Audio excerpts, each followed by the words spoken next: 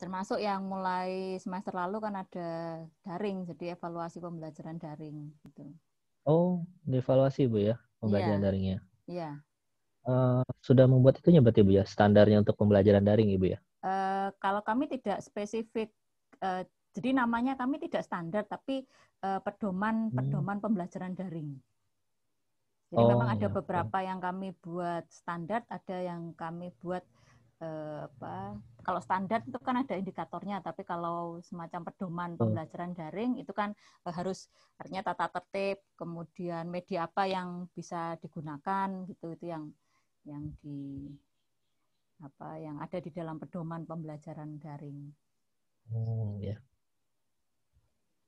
Iya, betul.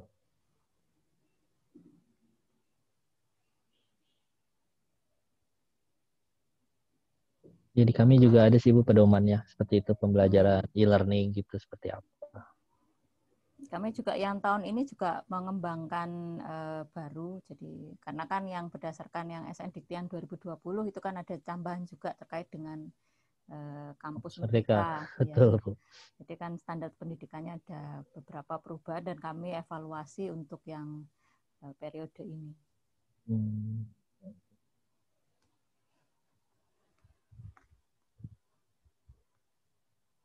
Selamat siang.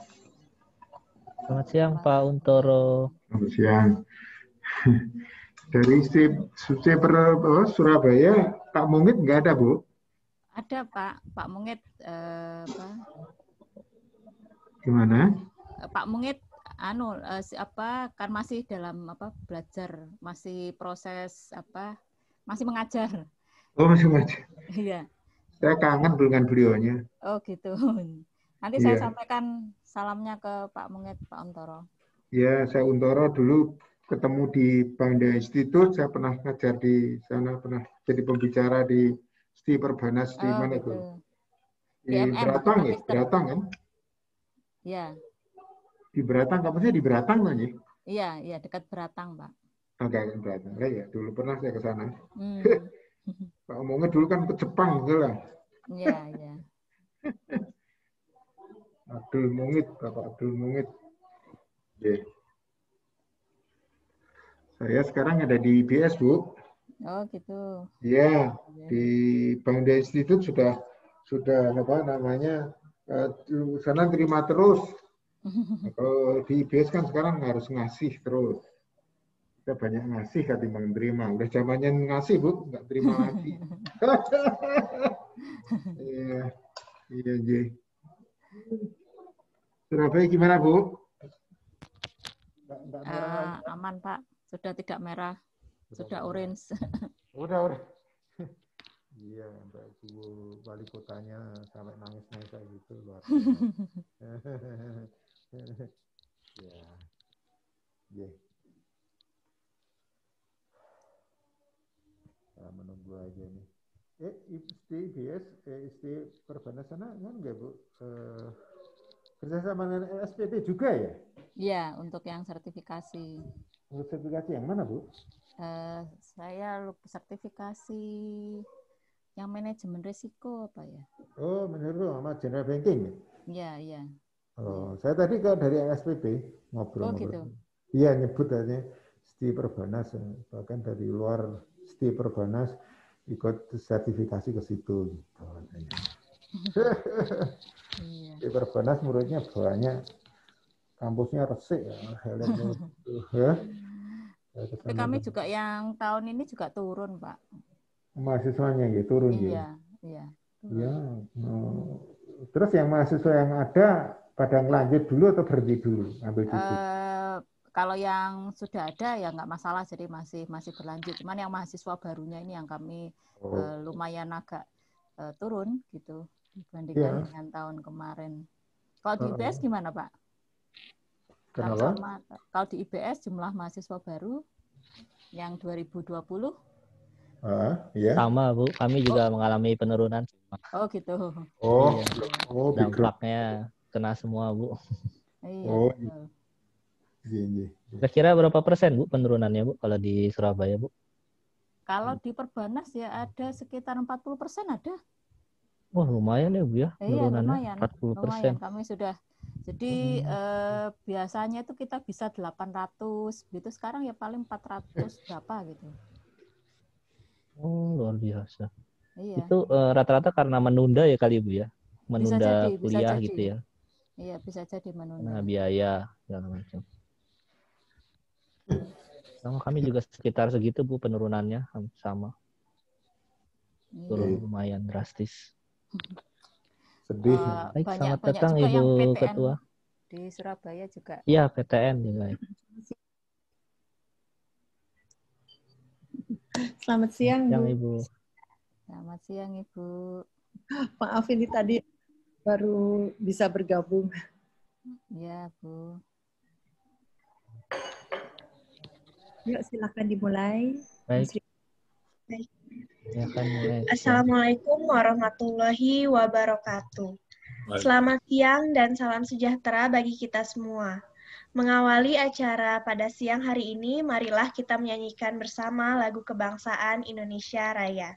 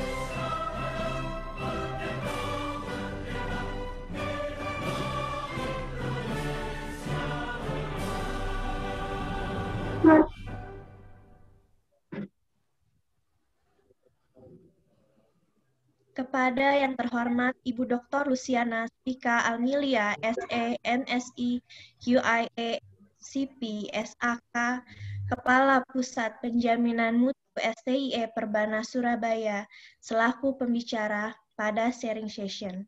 Terima kasih Ibu atas kesediaannya menghadiri acara hari ini.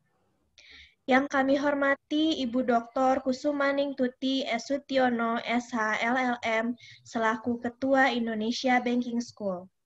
Yang kami hormati Bapak Dr. Sparta AK MECA selaku Wakil Ketua 1 Indonesia Banking School. Yang kami hormati Ibu Dok yang kami hormati Bapak Gatot Sugiono SEMM selaku Wakil Ketua 2 Indonesia Banking School yang kami hormati Ibu Dr. Nuri Wulandari selaku Wakil Ketua 3 Indonesia Banking School.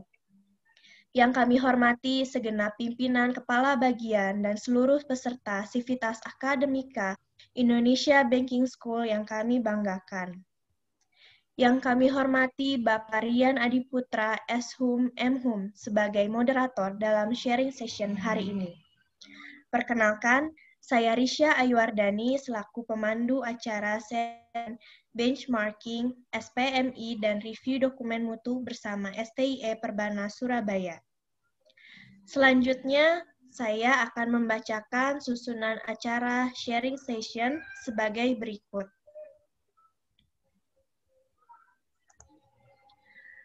Pertama, pembukaan dan menyanyikan lagu Indonesia Raya. Kedua, pembacaan doa. Ketiga, sambutan Ketua Indonesia Banking School. Keempat, perkenalan dan pembacaan CV narasumber oleh moderator. Kelima, pemaparan materi oleh narasumber. Keenam, tanya jawab. Ketujuh, penyerahan plakat se secara simbolis. Kedelapan, foto bersama. Kesembilan, penutup. Bapak, Ibu hadirin yang kami hormati, pertama-tama mari marilah kita panjatkan puji dan syukur kepada Allah Subhanahu wa taala atas limpahan rahmat, taufik serta hidayah kepada kita semua hingga saat ini kita dapat mengikuti acara sharing session, benchmarking SPMI dan review dokumen mutu bersama STIE Perbanas hari ini Senin 26 Oktober 2020. Agar acara hari ini berjalan dengan lancar, marilah kita berdoa yang akan dipimpin oleh Bapak Ustadz Zulfison, SAGMA. Dengan hormat, kami persilahkan. Bismillahirrahmanirrahim. Assalamualaikum warahmatullahi wabarakatuh. Ibu Dr. Kukumaning Tuti dan Sivitas IBS serta Sivitas Akademika Perbana Surabaya. Sebelum acara dimulai, untuk menyebut keberkahan dari Allah Subhanahu wa taala, mari kita sama-sama berdoa. Izinkan kami memimpin doa dengan cara Islam. Bapak dan Ibu yang beragama lain dimohon untuk menyesuaikan. A'udzubillahi minasyaitonirrajim. Bismillahirrahmanirrahim. Alhamdulillahirabbil alamin wal 'aqibatu lil muttaqin wassalatu wassalamu ala asrafil anbiya wal mursalin wa ala alihi wa sahbihi rasulillahi ajma'in. Allahumma ya Allah, Tuhan yang maha pengasih dan maha penyayang, berikan kepada kami kekuatan untuk selalu bersyukur atas segala nikmat-nikmatmu. Berikan kami kekuatan untuk meninggalkan larangan-laranganmu. Dan berikan kami kekuatan untuk menjadi hamba-hambamu yang bertakwa. Ya Allah, Ya Arhamar Rahimin, pada hari ini kami melaksanakan acara dengan Perbanas Surabaya untuk membandingkan perjaminan mutu antara Indonesia Banking School dengan Perbanas Surabaya. Ya Allah, ya Arhamar Rahimin, karuniakan kepada kami ilmu yang bermanfaat dari acara yang kami lakukan ini. Bukakan hati dan jiwa kami untuk menerima keberkahan dan ilmu dan butiran ilmu-ilmu yang kau berikan, ya Allah karuniakan kepada kami kelapangan hati untuk menerima ilmu yang bermanfaat dari acara ini. Ya Allah, ya Arhamar Rahimin, karuniakan kepada kami kesehatan di tengah pandemi ini. Semoga kami diberikan selalu kesehatan. Dan apa yang kami lakukan untuk kampus ini menjadi kegiatan yang bernilai amal ibadah dan bernilai pahala di sisimu. Ya Allah, ya Arhamar Rahimin. Rabbana atina fid dunya hasanah wa fil akhirati hasanah wa qina azabannar walhamdulillahi rabbil alamin. Wassalamualaikum warahmatullahi wabarakatuh. Waalaikumsalam warahmatullahi wabarakatuh. Terima kasih kepada Bapak Ustadz Zulfison, SAG, NA. Bapak Ibu yang kami hormati, selanjutnya mari kita dengarkan sambutan Ibu Ketua Indonesia Banking School, Ibu Dr. Kusumaning Tuti Esutiono SH LLM. Dengan hormat kami persilahkan.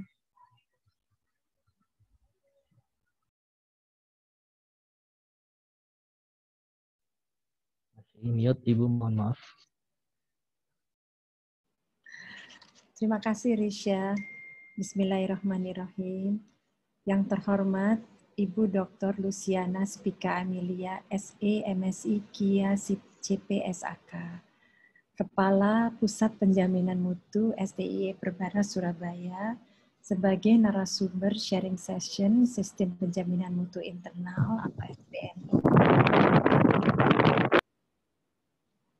Bapak dan Ibu pimpinan Indonesia Banking School, Bapak Ibu Kepala Prodi dan Sekretaris Prodi, Bapak dan Ibu yang hadir pada workshop siang ini. Assalamualaikum warahmatullahi wabarakatuh. Selamat siang dan salam sejahtera bagi kita semua. Puji syukur kami panjatkan kehadirat Allah Subhanahu wa taala Karena atas karunia dan rahmatnya lah kita semua dapat hadir secara daring untuk mengikuti sharing session sistem penjaminan mutu internal. Pada kesempatan yang baik ini, perkenankan juga saya atas nama Sivitas Akademika STI Indonesia Banking School menyampaikan apresiasi dan terima kasih kepada Ibu Dr. Luciana yang telah dengan murah hati berkenan meluangkan waktunya berbagi pengetahuan, dan menyampaikan review dokumen mutu Indonesia Banking School sesuai dengan ketentuan dalam Permendikbud nomor 3 tahun 2020. Semoga kami semua dapat mengikuti dengan baik dan semoga sharing session ini membawa manfaat bagi kita semua. Semoga Allah Subhanahu wa taala senantiasa memberikan rahmatnya. Terima kasih. Wassalamualaikum warahmatullahi wabarakatuh. Waalaikumsalam warahmatullahi wabarakatuh. Terima kasih kepada Ibu Dr. Kusumaning Tuti S. Sutiono, SHLLM. Para peserta yang kami hormati, selanjutnya marilah kita ikuti acara sharing session siang hari ini yang akan dipandu oleh Bapak Rian Adiputra S.Hum M.Hum. Selanjutnya, acara saya serahkan kepada moderator, kepada Bapak Rian kami persilahkan. Baik, terima kasih. Assalamualaikum warahmatullahi wabarakatuh. Selamat siang. Yang terhormat Ibu Dr. Luciana Spika Almilia SE MSc QIA CPS AK selaku narasumber pada acara hari ini. Yang terhormat Ibu Dr. Kusumaning Tuti S. Sutiono SHLLM, Ketua Indonesia Banking School. Bapak Dr. Sparta SEAK MECA Wakil Ketua 1, Bapak Gatot Sugiono, SEMM, Wakil Ketua 2, Ibu Dr. Nuri Wulandari, SEMSC, Wakil Ketua 3, Bapak dan Ibu Kepala dan Sekretaris Program Studi, Bapak dan Ibu dosen Indonesia Banking School, serta seluruh kepala bagian dan segenap sivitas akademika IBS. Selanjutnya kita akan memasuki pada inti acara sharing session pada hari ini dengan tema benchmarking SPMI dan review dokumen mutu dengan STY Perbana Surabaya. Seperti yang kita ketahui bahwa sistem penjaminan mutu internal atau SPMI merupakan suatu hal yang harus dijalankan oleh seluruh perguruan tinggi di Indonesia sesuai amanat Undang-Undang Nomor 12 Tahun 2012 tentang Pendidikan Tinggi dan dijelaskan lebih rinci pada Permendikbud Dikti Nomor 62 Tahun 2018 tentang Sistem Penjaminan Mutu Perguruan Tinggi serta dilengkapi dengan Permendikbud Nomor 3 Tahun 2020 tentang Standar Nasional Pendidikan Tinggi. SPMI saat ini menjadi vital karena merupakan syarat mutlak sebelum kita melakukan sistem penjaminan mutu eksternal atau yang lebih dikenal dengan akreditasi. Untuk dapat menerapkan SM yang baik, dilakukan sebuah siklus yang dinamakan penetapan, pelaksanaan, evaluasi, pengendalian, serta peningkatan atau biasa disingkat PPEPP. STIBS tergolong perguruan tinggi yang masih belajar dalam menerapkan SPMI ini. Untuk itulah kami membutuhkan masukan dan arahan dari perguruan tinggi lain yang berpengalaman dalam menerapkan SPMI seperti STIE Perbana Surabaya, yang sudah berhasil menjadi sekolah tinggi terbaik dan sudah berhasil menjadi perguruan tinggi asuh yang ditunjuk oleh Dikti dalam membimbing perguruan tinggi dalam perguruan tinggi lain dalam menerapkan SPMI.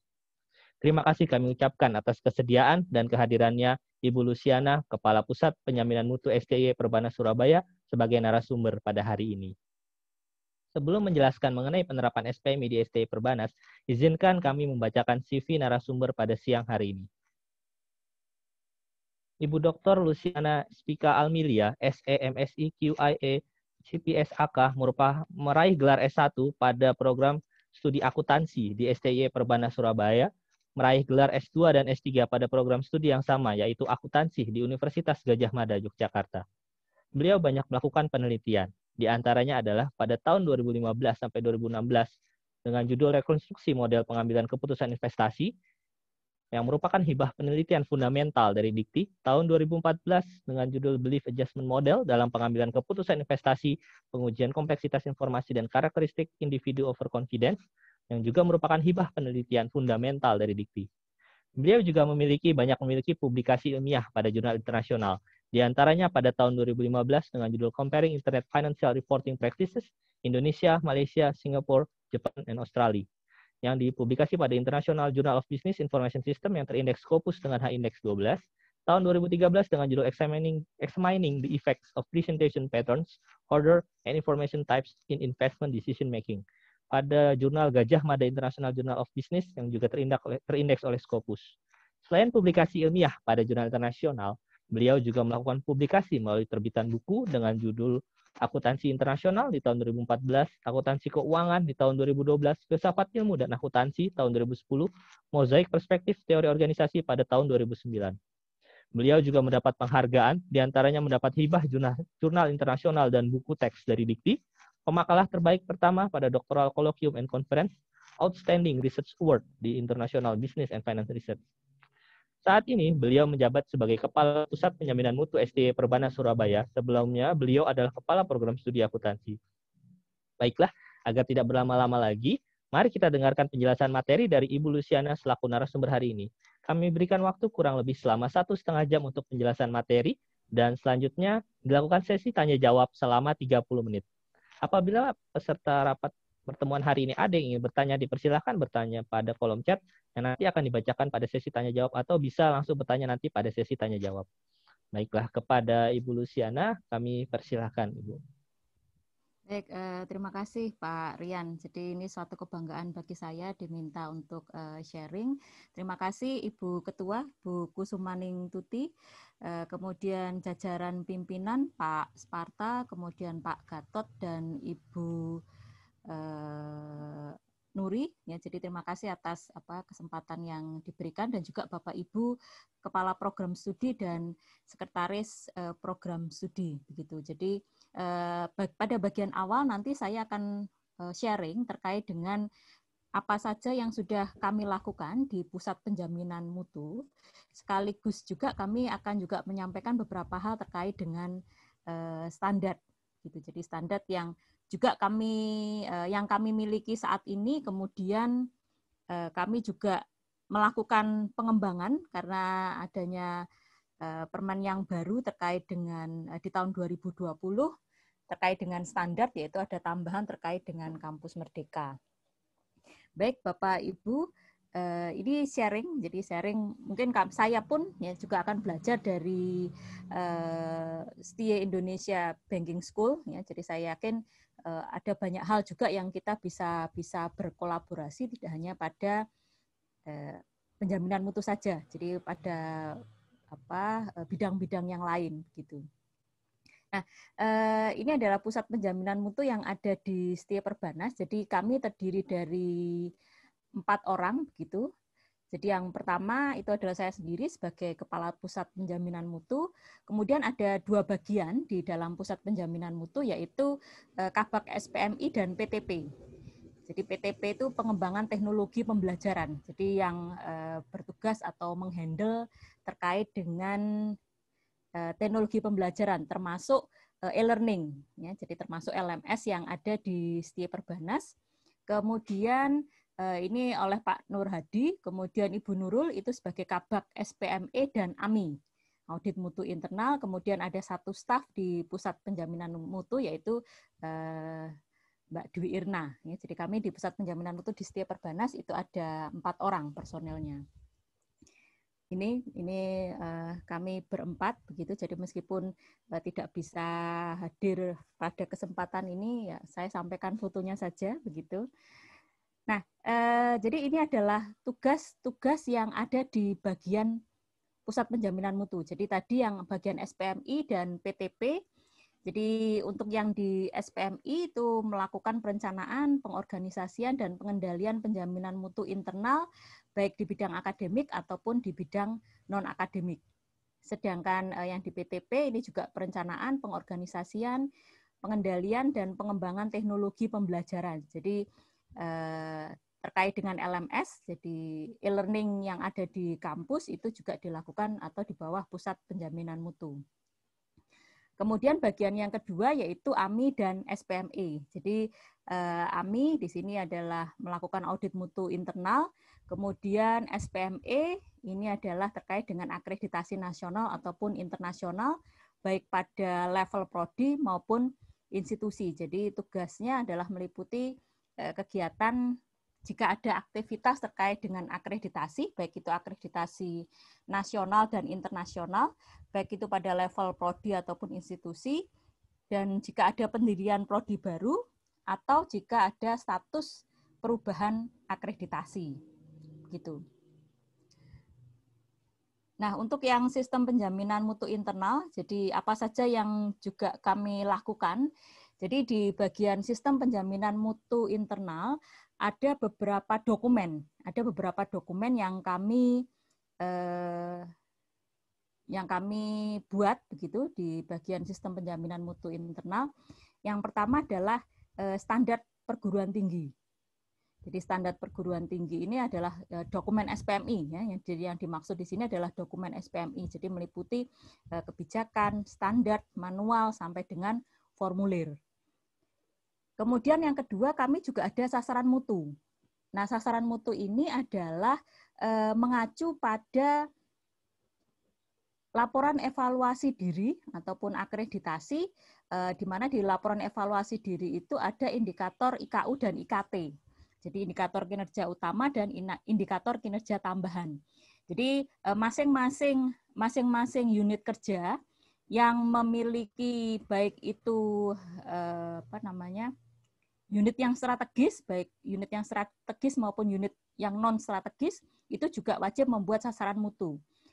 Bagi unit yang strategis seperti program studi dan pusat eh, dan pusat penelitian dan pengabdian masyarakat itu eh, memiliki sasaran mutu yang terkait dengan IKU IKT yang ada di yang ada di laporan evaluasi diri yang berdasarkan eh, akreditasi. Tetapi kalau yang bagian-bagian yang non strategis, jadi dia supporting system, itu sasaran mutunya adalah berbasis proses.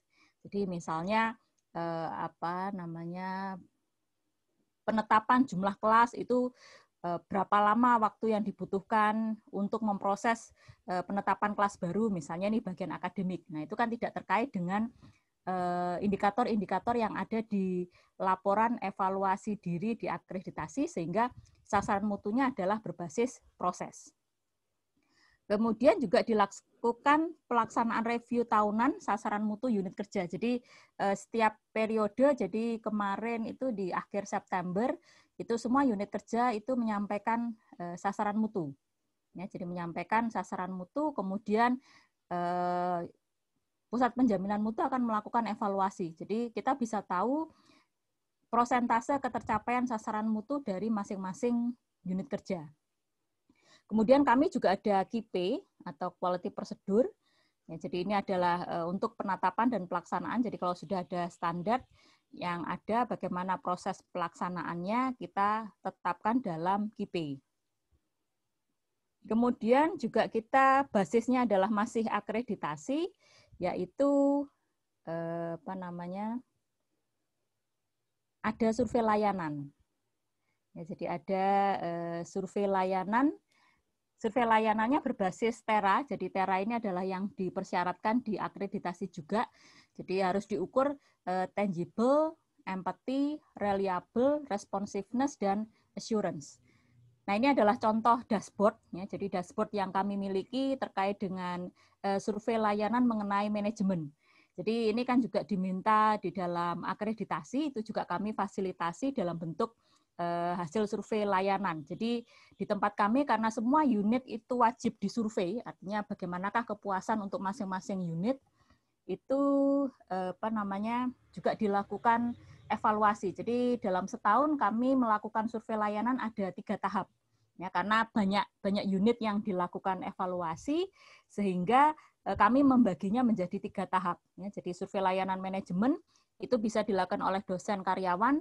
Ya, ada juga mungkin eh, layanan bagian umum ini juga dilakukan atau mahasiswa juga menikmati Eh, fasilitas di atau pelayanan dari bagian umum kami juga ciptakan survei bagi mahasiswa terkait dengan kepuasan kepuasan pelayanan di bagian yang ada uh, di setiap perbanas. Jadi ini misalnya uh, tahun 2019-2020 ini adalah salah satu hasil survei layanan manajemen tahap satu. Ya, jadi ini adalah layanan pimpinan, kemudian bagian SDM, pramu bakti, satpam, dan seterusnya. Jadi ini yang tahap satu. begitu. Itu yang di sistem penjaminan mutu internal. Kemudian yang kedua yaitu sistem penjaminan mutu eksternal. Nah, di dalam sistem penjaminan mutu eksternal, apa saja yang kami atau yang dilakukan pada bagian sistem penjaminan mutu eksternal, yaitu eh, melakukan evaluasi atau monitoring ketika ada program studi yang melakukan atau melaksanakan akreditasi nasional maupun internasional. Ya, jadi baik itu level program studi ataupun level perguruan tinggi, serta jika ada perubahan status akreditasi. Jadi misalnya eh, apa yang B begitu mau mau atau yang dulu kami di MM itu C kemudian kami mencoba untuk e, menaikkan akreditasi jadi sebelum sebelum waktu batas akhirnya karena kami masih e, kami apa ingin supaya akreditasinya tidak C jadi supaya B maka kita melakukan reakreditasi sebelum waktunya waktu itu ya waktu itu nah kemudian yang kedua adalah monitoring ketercapaian IKU dan IKT pada masing-masing unit kerja berdasarkan laporan evaluasi diri dan sasaran mutu. Jadi eh, nanti saya akan tunjukkan pada bagian akhir itu contoh dari eh, keterkaitan dengan apa eh, indikator IKU IKT yang ada di dalam akreditasi, kemudian kami kaitkan juga dengan standar gitu.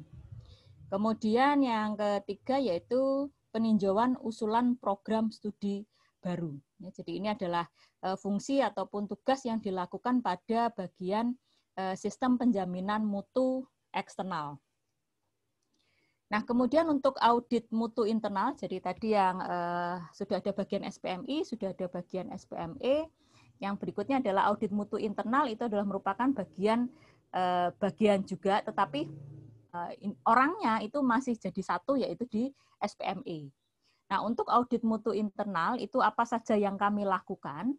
Eh, perencanaan, pengorganisasian, dan pengendalian penjaminan mutu melalui audit mutu internal.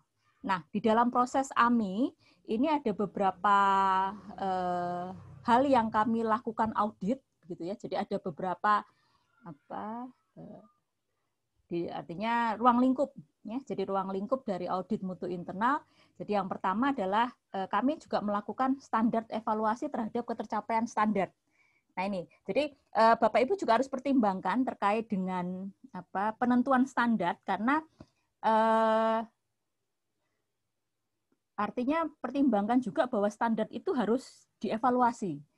Ya, jadi kemungkinan untuk dievaluasi itu harus dilakukan. Jadi jangan sampai bahwa Eh, apa namanya nanti standar yang kita sudah buat tetapi tidak pernah dilakukan evaluasi sehingga kita tidak pernah uh, tahu peningkatan apa yang harus dilakukan begitu jadi ini juga juga menjadi pertimbangan kami bahwa dalam penentuan standar itu harus dilakukan evaluasi ketercapaian melalui apa melalui audit mutu internal Kemudian evaluasi juga dilakukan pada ketercapaian IKU dan IKT pada program studi.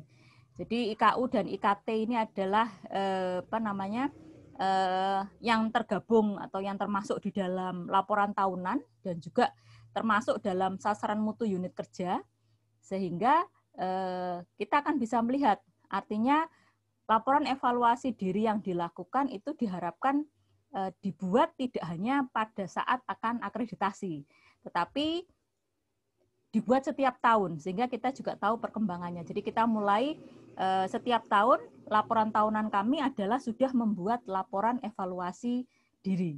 Jadi basisnya adalah eh, laporan evaluasi diri akreditasi begitu ya. Kemudian yang keempat adalah di dalam AMI itu kami juga melakukan kepatuhan terkait dengan quality prosedur. Jadi kepatuhan terhadap quality prosedur. Jadi eh, kami juga melakukan evaluasi. Jadi misalnya di dalam quality prosedur ada aktivitas kuliah tamu, kuliah umum. Nah, di dalam quality prosedur tersebut ada informasi bahwa akan ada laporan kuliah tamu. Nah, ini kita cek KIP-nya itu hasil KIP itu kan prosedur ini akan menghasilkan dokumen laporan eh, laporan kuliah tamu. Nah, ini kita lihat termasuk juga formulir-formulir yang ada di dalam quality prosedur itu apakah juga sudah dilaksanakan atau diimplementasikan eh, di dalam kegiatan operasional. Jadi kita juga lakukan kepatuhan terhadap quality prosedur. Kemudian di dalam audit mutu internal itu juga kita melakukan evaluasi terhadap program kerja. Ya, jadi program kerja dari unit kerja, jadi ketercapaian eh, program kerja. Kemudian rencana tindak lanjut, nah ini adalah eh, evaluasi rencana tindak lanjut hasil AMI periode eh, sebelumnya. Itu juga kita lakukan eh, apa dipantau. Jadi kalau misalnya janjinya itu akan diperbaiki di uh, periode gasal, maka gasal 2020 maka audit di bulan uh, di periode gasal 2020 ini kita lihat ya janjinya untuk apa uh, evaluasi rencana tindak lanjut itu bagaimana. Nah, ini adalah contoh uh, laporan ketercapaian standar pendidikan tinggi yang tahun 2018-19 ya jadi kami ada eh, kewajibannya kan 24 ya, 24. Kemudian ada tambahannya yaitu ada 5. Jadi kami masih pakai 29 standar. Jadi untuk standar identitas itu 3, standar kemahasiswaan 28, standar perpustakaan 41, standar kerjasama sehingga total itu eh, berapa 800 sekian. Nah, ini juga agak eh, kami juga melakukan evaluasi ya. Ternyata eh, apa namanya? Semakin banyak indikator ini juga auditnya juga semakin rumit begitu. Jadi kami coba uh, memadukan. Jadi indikator di standar itu kami harus sesuaikan dengan uh, akreditasi. Ya. Indikator uh, kami sesuaikan dengan IKU dan IKT dari akreditasi sehingga akan memudahkan tidak perlu artinya indikatornya agar selaras gitu. Jadi tidak perlu banyak indikator karena nanti eh, kewajibannya dari standar itu tadi harus dievaluasi. Nah ini, jadi eh, jangan sampai bahwa standar yang sudah Bapak Ibu buat itu tidak dilakukan evaluasi. Nah, evaluasinya dilakukan oleh siapa? Bisa juga menggunakan media apa namanya audit mutu internal. Jadi audit mutu internal itu dianggap eh, bisa dijadikan apa apa namanya uh, sudah menggunakan apa Bentar. saya batch up dulu jadi uh, indikatornya itu adalah kita mencoba untuk apa disesuaikan dengan pengukuran eksternal. Jadi AMI kami kali ini, jadi AMI audit mutu internal kami kali ini itu mencoba untuk eh, apa namanya memperbaiki standar indikatornya itu didasarkan pada ukuran-ukuran eksternal supaya tidak supaya tidak apa tidak double double ukuran gitu. Jadi internal ada tetapi ternyata eksternal tidak membutuhkan ya sehingga eh, tadi kami mencoba apa namanya eh, ada ada apa namanya ada keselarasan begitu dengan indikator yang diminta oleh uh, eksternal. Sehingga kami tidak menciptakan secara spesifik indikator-indikator yang uh, apa namanya yang berbeda begitu. Tetapi nanti ada IKT, jadi indikator kinerja tambahan yang merupakan uh, capaian kinerja kami itu juga bisa dimasukkan ke dalam bisa dimasukkan ke dalam standar begitu. Kemudian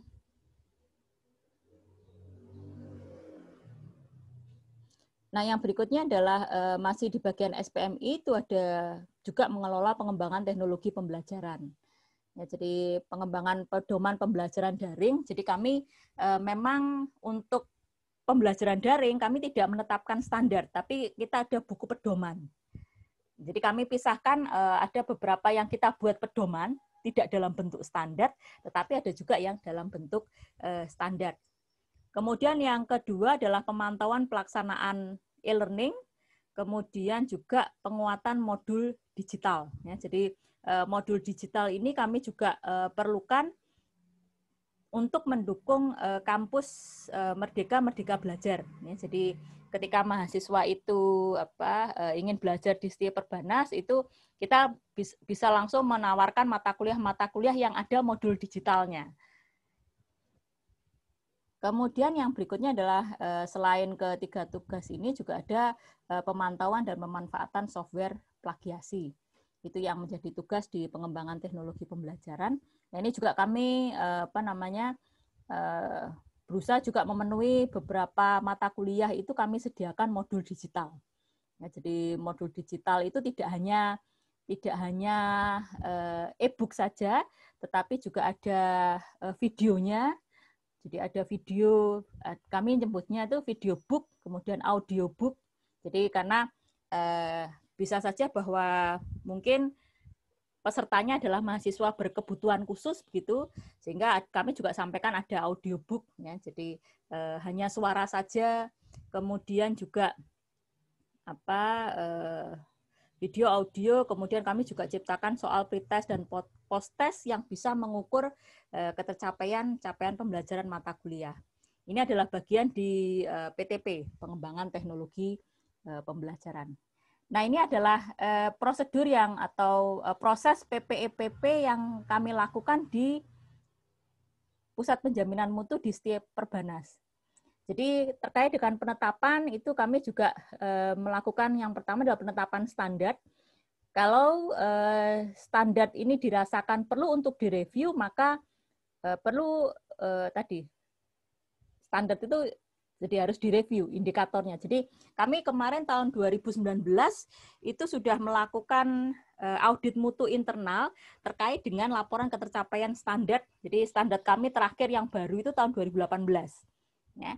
Kemudian tahun 2020 ini kami juga melakukan eh, evaluasi terhadap standar ya. Jadi kami masukkan eh, apa Merdeka Belajar dan Kampus Merdeka tadi jadi tambahannya Nah, evaluasi terhadap standar ini juga harus dilakukan uh, secara periodik. Ya, jadi tidak harus setiap tahun, tetapi bisa saja evaluasinya itu karena dari hasil audit mutu itu ternyata misal indikator. Jadi misal kemarin itu saya di audit mutu internal kemarin itu ada beberapa indikator. Jadi misalnya di akreditasi syaratnya empat tapi kami mempersyaratkan lima, kan terlalu tinggi, mau syarat akreditasi aja empat untuk supaya A misalnya, sehingga kami sesuaikan indikatornya menjadi empat. Nah itu salah satu eh, salah satu contoh terkait dengan eh, evaluasi terhadap eh, standar. Kemudian yang kedua eh, baseline dari sasaran mutu. Jadi kami ada ada apa eh, ada irisan begitu ya. Jadi ada irisan antara indikator standar, indikator LED dan indikator di sasaran mutu. Nanti saya akan eh, tunjukkan di bagian akhir terkait dengan standar bagaimana di indikator standar itu kami melihatnya dasarnya apa. Kemudian yang ketiga yaitu penyusunan RKAT. Jadi eh, rencana kerja anggaran tahunan itu juga Eh, merupakan bagian dari penetapan ya. Jadi rencana kerja dan anggaran tahunan. Kemudian pada pelaksanaan itu adalah eh, kami ada dokumen SOP sebagai panduan pelaksanaan kerja untuk masing-masing unit kerja. Dan juga tahun 2018 kami juga sudah melakukan evaluasi jadi perbaikan terkait dengan quality prosedur ya atau SOP masing-masing unit kerja kami perbarui kembali Eh, basisnya juga ada PPEPP, e jadi masing-masing unit kerja juga membuat KIP-nya itu juga didasarkan pada PPEPP e juga. Jadi ketika penetapan, oh mereka harus membuat RKAT, itu ada ada quality prosedurnya. Dan quality prosedur ini juga kami audit kepatuhannya. Yang ketiga adalah eh, evaluasi. Jadi monitoring dan evaluasi uh, internal, jadi bisa saja uh, monitoring dan evaluasi internal ini tidak harus dalam bentuk uh, audit mutu internal. Ya. Jadi seperti yang survei layanan yang kita lakukan itu adalah salah satu bentuk apa model dari evaluasi dan monitoring. Kemudian selain monitoring dan evaluasi internal juga ada audit mutu internal. Pada bagian pengendalian, ini adalah merupakan uh, rencana tindak lanjut untuk setiap pelaksanaan MONEF internal dan audit mutu internal. Kemudian pada bagian peningkatan, yaitu uh, pemantauan rencana tindakan uh, pemantauan rencana tindak lanjut, sekaligus kami melakukan evaluasi ketercapaian sasaran mutu. Nah, ini adalah untuk pada tahapan peningkatan. Nah, untuk uh, penjaminan mutu di setiap perbanas, kami membagi ya peran penjaminan mutu di setiap perbanas uh, menjadi level institusi dan level program studi. Ya, jadi ada di level apa institusi dan ada di level program studi atau uh, jadi kalau di sistem penjaminan mutu internal di level institusi itu sistem penjaminan mutu internal dan pengembangan teknologi pembelajaran tadi dan sistem penjaminan mutu eksternal dan AMI. Tetapi kalau di pusat penjaminan mutu level program studi kami ada gugus kendali mutu. Ya, jadi ada uh, tim gugus kendali mutu yang uh, mempersiapkan data-data untuk dilakukan evaluasi gitu. Kemudian hasil evaluasinya itu disampaikan kepada kepala program studi setiap uh, semester. Jadi gugus kendali mutu di sini adalah uh, perangkat penjaminan mutu pada tingkat program studi yang bertugas untuk melaksanakan monitoring yang telah ditetapkan program studi dan menyampaikan rekomendasi perbaikan berkelanjutan dari pelaksanaan perkuliahan. Ya, jadi nanti uh, kami ada beberapa beberapa tugas yang dilakukan oleh uh, gugus kendali mutu. Jadi ini uh, tim gugus kendali mutu. Ya, jadi ada Eh, wakil ketua bidang akademik, kemudian ketua program studi, kepala pusat penjaminan mutu, dosen penanggung jawab mata kuliah. Jadi kalau misalnya eh, mata kuliah manajemen keuangan diampu oleh ada lima kelas, kebetulan dosennya lima-limanya beda. Nah itu ada satu dosen yang penanggung jawab mata kuliah. Itu adalah eh, tim dalam gugus kendali mutu. Kemudian ada dosen kelompok bahan kajian. Jadi misalnya eh, akuntansi begitu ada akuntansi eh, kami ada bahan kajian akuntansi keuangan. Bahan kajian akuntansi keuangan itu terdiri dari mata kuliah misalnya akuntansi pengantar satu akuntansi pengantar dua akuntansi keuangan satu akuntansi keuangan dua akuntansi lanjutan keuangan lanjutan satu dan seterusnya. Itu ada dosen satu dosen yang disebut sebagai dosen kelompok bahan kajian. Nah, kemudian ada uh, anggota tim GKM. Nah, anggota tim GKM ini adalah yang melakukan eh, apa namanya mengumpulkan data terkait dengan eh, evaluasi. Jadi kami juga ada beberapa evaluasi. Kemudian anggota tim GKM ini adalah yang eh, artinya meramu datanya. Kemudian nanti eh, hasil ramuannya itu akan dievaluasi bersama-sama di dalam gugus kendali mutu. Nah ini tugas eh, tugas gugus kendali mutu ada beberapa uh, tugas dari gugus kendali mutu. Jadi yang pertama itu adalah melakukan monitoring dan evaluasi terhadap kesesuaian materi mata kuliah. Jadi uh, ini juga kami lakukan uh, evaluasi. Jadi karena yang satu mata kuliah itu kan disajikan atau disajikan beberapa kelas dan mungkin di di apa namanya diampu oleh lebih dari satu orang dosen sehingga jangan sampai materi yang disampaikan dosen A itu bisa berbeda dengan dosen B dan seterusnya. Jadi eh, ada monitoring dan evaluasi yaitu kesesuaian materi mata kuliah. Ada juga monitoring dan evaluasi terhadap penilaian mata kuliah. Ya, jadi penilaian eh, mata kuliah itu juga juga kami lakukan evaluasi. Ya, nanti akan saya berikan contoh beberapa hal yang terkait dengan eh, GKM Kemudian monitoring dan evaluasi capaian pembelajaran mata kuliah, monitoring dan evaluasi capaian pembelajaran lulusan ya. Jadi karena bagi eh, perguruan tinggi yang ingin akreditasi internasional itu tidak hanya penilaian lulus atau tidak lulus tetapi juga ada eh, informasi capaian pembelajaran lulusan CPL atau kalau Bapak Ibu mengenal itu ada istilahnya kurikulum berbasis OBE outcome based education. Jadi itu yang diminta ketika eh, perguruan tinggi ingin melakukan akreditasi internasional. Tugas yang kelima yaitu monitoring dan evaluasi proses pembelajaran ya, melalui tadi survei layanan terkait dengan proses pembelajaran. Kemudian juga monitoring dan evaluasi pembimbingan akademik. Kemudian monitoring dan evaluasi pembimbingan tugas akhir Jadi kita juga evaluasi dosen wali, ya, jadi kok pembimbing akademik ini adalah dosen wali, kita juga melakukan monitoring dan evaluasi terhadap pembimbingan tugas akhir. Ya, jadi kalau mahasiswa melakukan uh, skripsi di sarjana atau uh, apa namanya LKP, laporan kerja praktek di program studi diploma. Kemudian tugas yang ke-8 itu juga melakukan uh, monitoring dan evaluasi layanan program studi. Ya, jadi eh, layanan program studi itu juga dilakukan evaluasi tidak hanya oleh eh, apa namanya dosen, tetapi juga oleh mahasiswa. Nah ini contoh eh, dashboard dari survei layanan dosen wali, ya, jadi diploma 3 dan sarjana. Ya, jadi apa? Kami juga ada kami sampaikan juga selain apa dosen wali juga dosen pembimbing tugas akhir. Nah, itu juga kami lakukan uh, survei layanan. Uh, ini saya pikir saya lewati saja. Nah, ini Bapak Ibu, oke. Okay.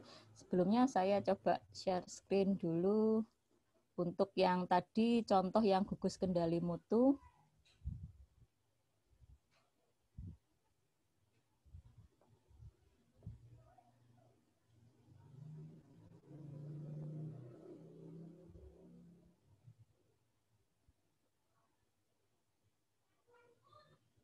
Untuk beberapa hal eh, nanti bentar saya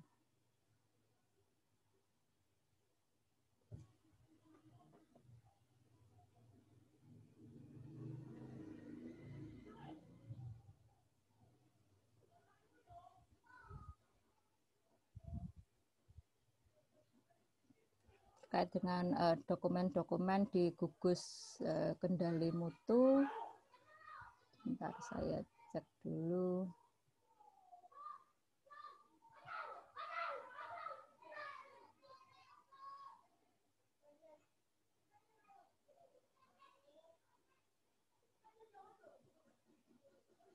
Ini eh, contoh eh, dokumen ketika melakukan evaluasi eh, atau tadi yang Gus Kendali Mutu di program studi.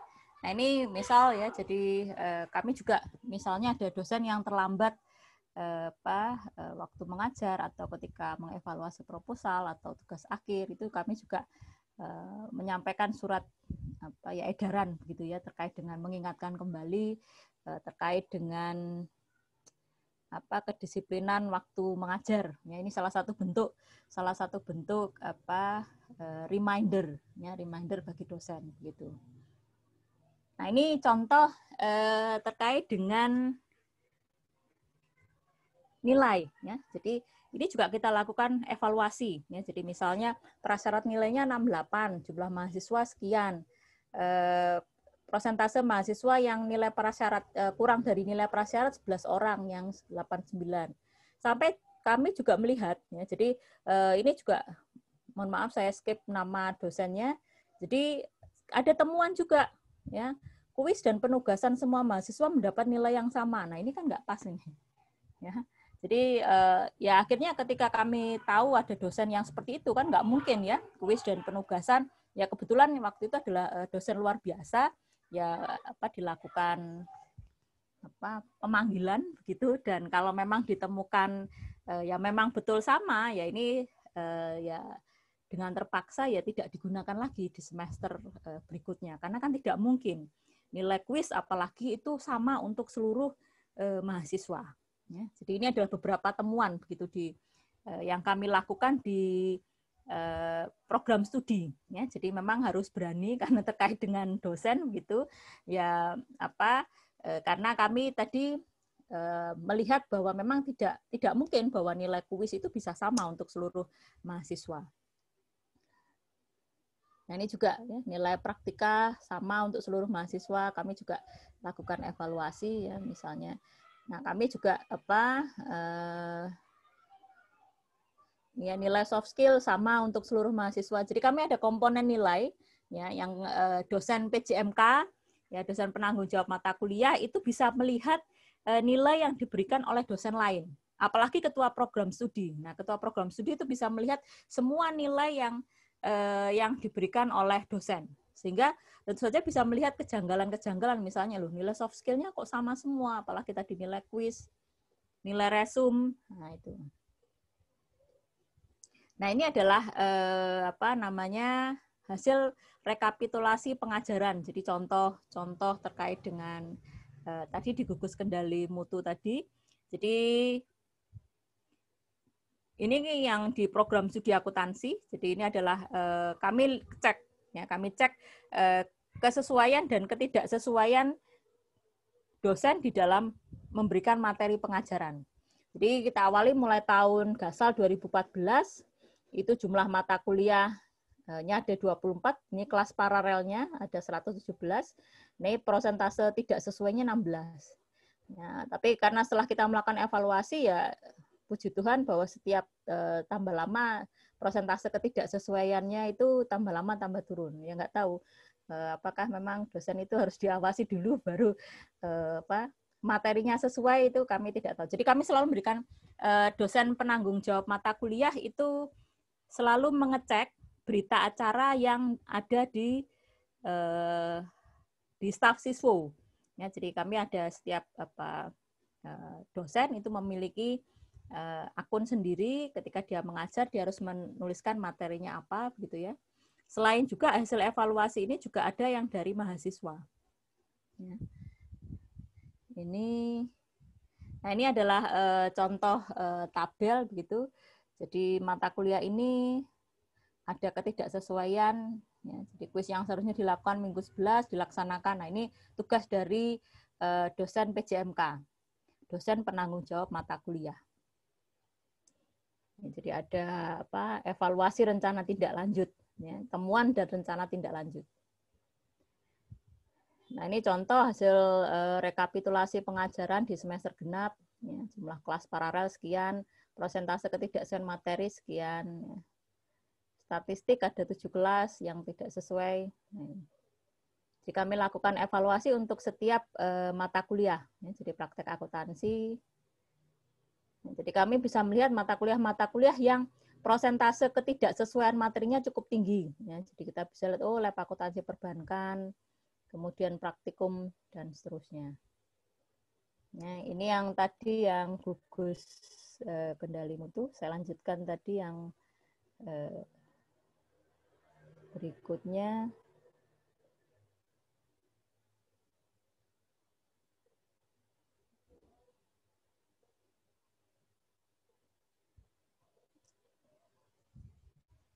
Nah ini Bapak Ibu terkait dengan uh, saya yakin uh, Bapak Ibu sekalian juga sudah memahami ini. Saya hanya uh, apa namanya review sebentar, review sedikit terkait dengan SPMI dan SPME terkait dengan akreditasi begitu.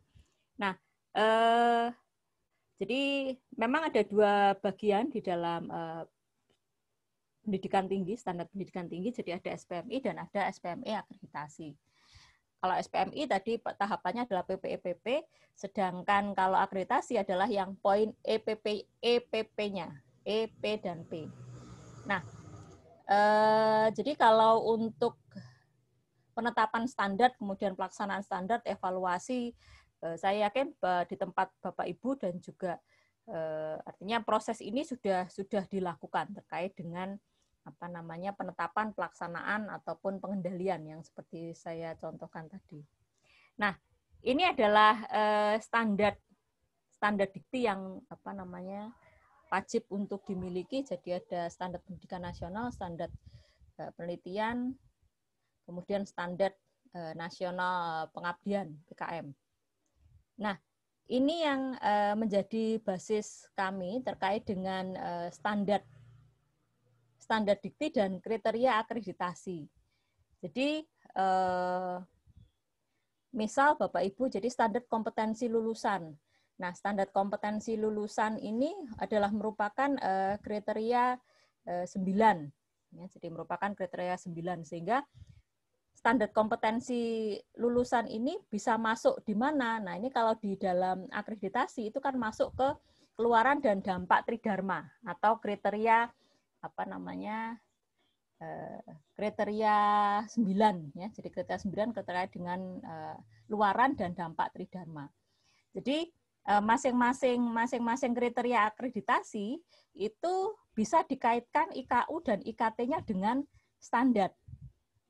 Jadi kalau eh, misal terkait dengan pendidikan itu kan ada di eh, kriteria 6. Nah, kriteria 6 itu sebetulnya indikatornya itu bisa masuk ke indikator di standar isi pembelajaran, standar proses pembelajaran dan standar eh, penilaian pembelajaran. Begitu juga dengan eh, standar penelitian. Ya, jadi standar penelitian itu eh, atau maaf kriteria penelitian itu bisa indikator di kriteria penelitian itu bisa masuk ke dalam standar isi, standar proses dan standar penilaian penelitian. Ya, jadi basis basis IKU dan IKT-nya itu bisa didasarkan atau indikatornya itu bisa didasarkan pada kriteria akreditasi khususnya di bagian eh, LED. Jadi kalau di LED itu kan Bapak Ibu melihat ada indikator kinerja utama. Nah, indikator kinerja utama inilah yang bisa dijadikan sebagai indikator di dalam eh, standar. Nah, ini adalah dokumen standar dari setiap Perbanas jadi standar pendidikan, penelitian,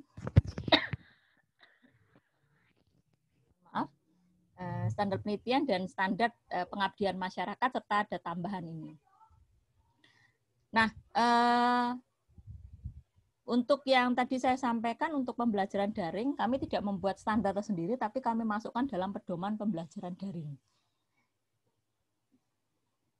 Nah, ini adalah tahap implementasi dari SPMI.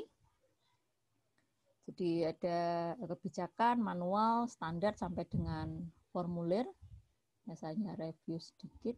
Nah, ini yang ada tambahan terkait dengan eh, permen yang baru yang tahun 2020 nomor 3 2020. Eh, ini adalah tambahan standar yang kami pertimbangkan untuk apa namanya eh, ada karena terkait dengan apa kampus merdeka merdeka belajar. Jadi terkait dengan tata kelola, ini adalah bisa saja ada standar ketaatan atau compliance pada peraturan perundang-undangan bidang pendidikan tinggi. Kemudian standar pemeliharaan atau peningkatan jumlah peminat atau pelamar. Ada juga standar pemeliharaan peningkatan jumlah lulusan pada program studi yang ada. Karena kan eh, kalau Bapak Ibu lihat pada kriteria mahasiswa itu juga ada terkait eh, indikator jumlah peminat atau pelamar, serta jumlah lulusan pada program studi yang ada. Eh, kriteria 9 itu juga menginformasikan jumlah lulusan pada program studi.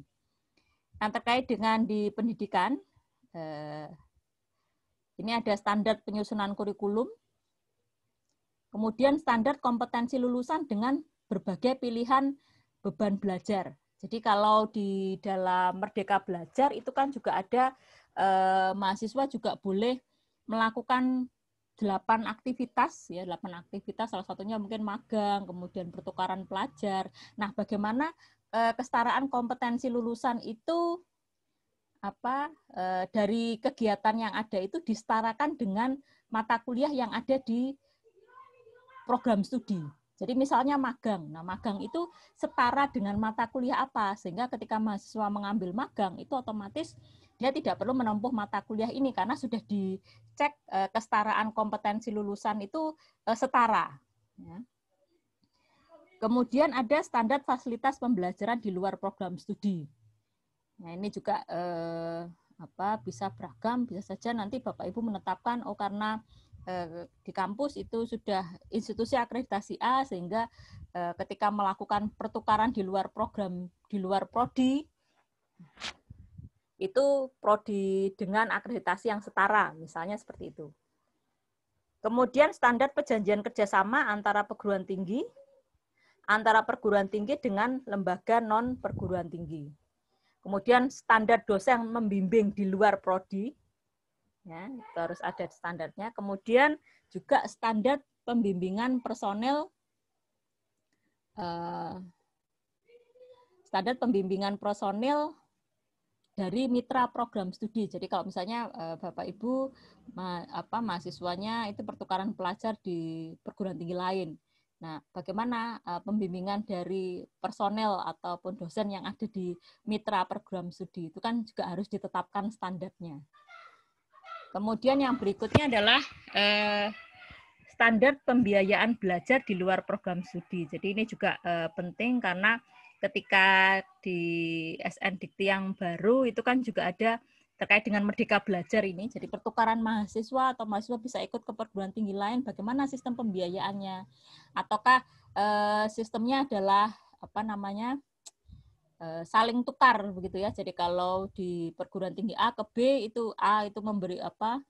Uh, ada 500 50 mahasiswa yang ke B, begitu juga yang B itu bisa ke A 50 sehingga tidak ada biaya yang ditimbulkan. Nah, itu bisa eh, bisa dimunculkan terkait dengan eh, standar pembiayaan belajar di luar program studi.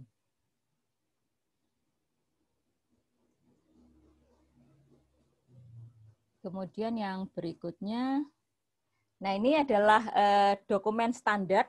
Ya, jadi dokumen standar sebagai Eh, landasan deskripsi dari LED tiap eh, kriteria. Jadi kalau Bapak Ibu perhatikan di dalam eh, dokumen standar, jadi yang di bagian kiri ini adalah dokumen standar, kemudian yang di bagian kanan ini adalah LED. Ya, jadi ketentuan LED, LED diakreditasi, jadi ada keterkaitan antara dokumen standar dan eh, apa namanya dokumen standar dan LED. Ya, jadi misal pernyataan isi standar, ya, maaf ini yang apa ini yang apa eh, LED ya yang bagian kiri ini adalah LED yang kanan itu adalah standar jadi di dalam eh, LED di dalam LED terkait dengan standar perguruan tinggi dan standar pencapaian Eh, strategi pencapaian standar itu adalah merupakan bagian dari pernyataan isi standar. Jadi eh, kami juga mengembangkan LED ini adalah dilakukan setiap tahun supaya kami juga bisa melakukan evaluasi ter, evaluasi terhadap ketercapaian standar. Kemudian jadi standar perguruan tinggi dan strategi pencapaian itu sebetulnya adalah bagian dari Eh, dokumen standar yang ada di pernyataan isi standar dan strategi. Nah ini tadi indikator, ya, jadi indikator ini adalah kita bisa melihat dari indikator kinerja tambahan dan indikator kinerja utama dari eh, LED. Ya.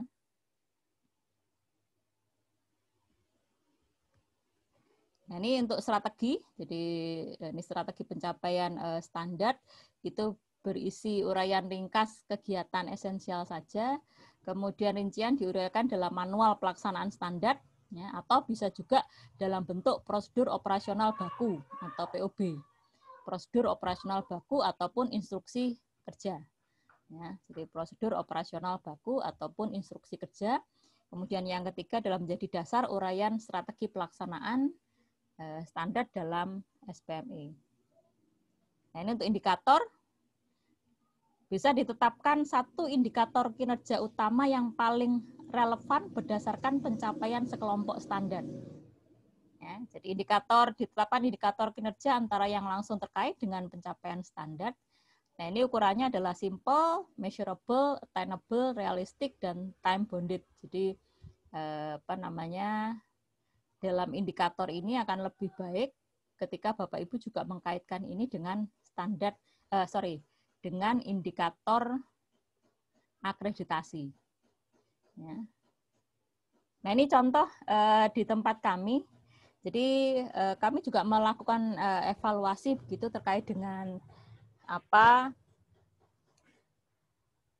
IKU dan IKU yang ada di dalam akreditasi nasional. Jadi saya ambilkan contoh. Jadi saya buat bagan begitu. Jadi apa namanya Eh, ukuran-ukuran atau indikator-indikator eksternal itu yang saya coba masukkan dalam standar. Karena eh, tadi ketika kita melihat ini nah ini akan lebih mudah. Jadi kalau eh, apa namanya standar isi pembelajaran standar proses sama standar penilaian pembelajaran itu kaitannya dengan kriteria 6 di LED akreditasi. Standar isi, standar proses, standar penilaian penelitian itu masuk ke tujuh. Ya, jadi Bapak Ibu bisa melihat eh, IKU di kriteria akreditasi sebagai dasar indikator untuk standar. Ya, sehingga eh, seperti tadi saya membuat Excel-nya untuk yang di IKU ataupun IKU dari akreditasi. Jadi misalnya indikator yang pertama yang di IKU itu kriteria satu Kesesuaian visi misi tujuan strategi unit pengelola program studi terhadap visi misi tujuan dan strategi PT dan visi keilmuan program studi. Nah, ini uh, ukurannya seperti ini. Nah, ini acuan indikator. Nah, ini saya masukkan oh, indikator ini sebetulnya bisa masuk ke standar identitas. Nah, jadi indikatornya adalah saya basisnya adalah uh, indikator dari atau indikator ataupun penilaian eksternal ya. Khususnya adalah akreditasi.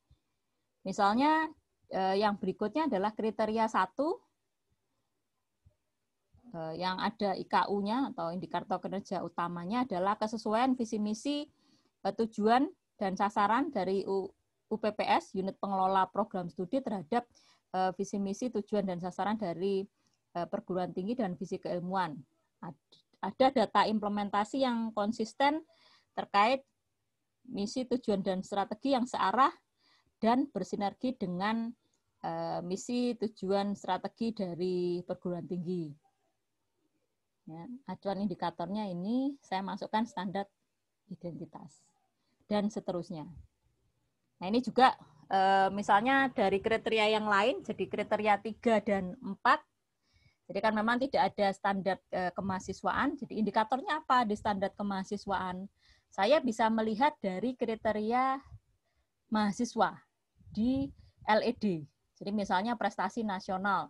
Jadi saya masukkan indikator di standar, indikator di standar kemahasiswaan itu adalah eh, prestasi nasional.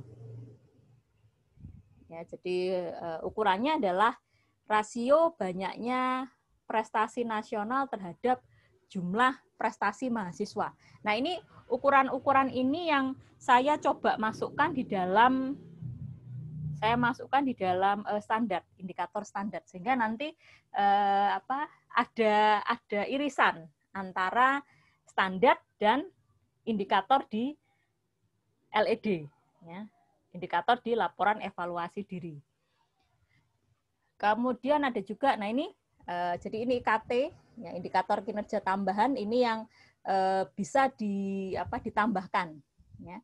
Jadi indikator kinerja tambahan itu yang bisa ditambahkan uh, untuk perguruan tinggi.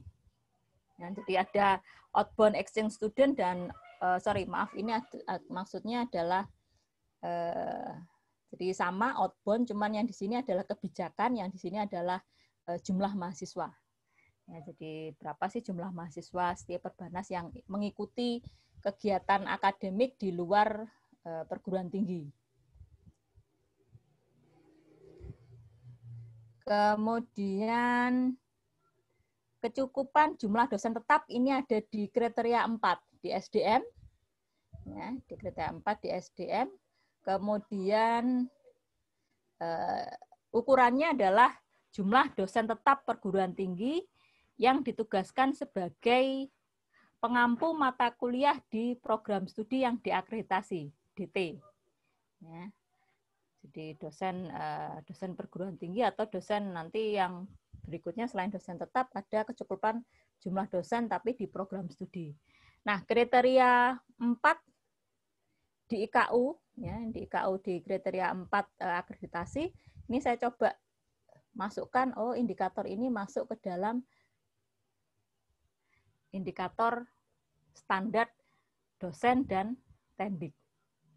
Ya, jadi indikator-indikatornya itu akan lebih mudah kalau Bapak Ibu mengacu pada eh, akreditasi, ya, karena eh, saya yakin ukuran-ukuran atau informasi yang seperti ini itu sudah sudah tersampaikan. Artinya eh, indikator di standar penelitian, eh, standar peneliti ini itu kaitannya dengan eh, SDM ya di kriteria SDM. Jadi nanti Bapak Ibu uh, bisa memisahkan standar SDM ini ya jadi standar eh, sorry kriteria SDM ya kriteria SDM yang ada di akreditasi LED itu IKU atau IKT-nya mana yang masuk standar dosen dan tendik, mana yang masuk standar peneliti dan mana yang masuk standar pelaksana PKM ya. Jadi kalau yang tadi contohnya yang di standar 4 yang kecukupan jumlah dosen tetap ini adalah masuk ke standar dosen dan tendik.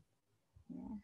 Kemudian kualifikasi akademik dosen tetap itu adalah prosentase dosen perguruan tinggi eh, dosen pada program studi yang berpendidikan doktor.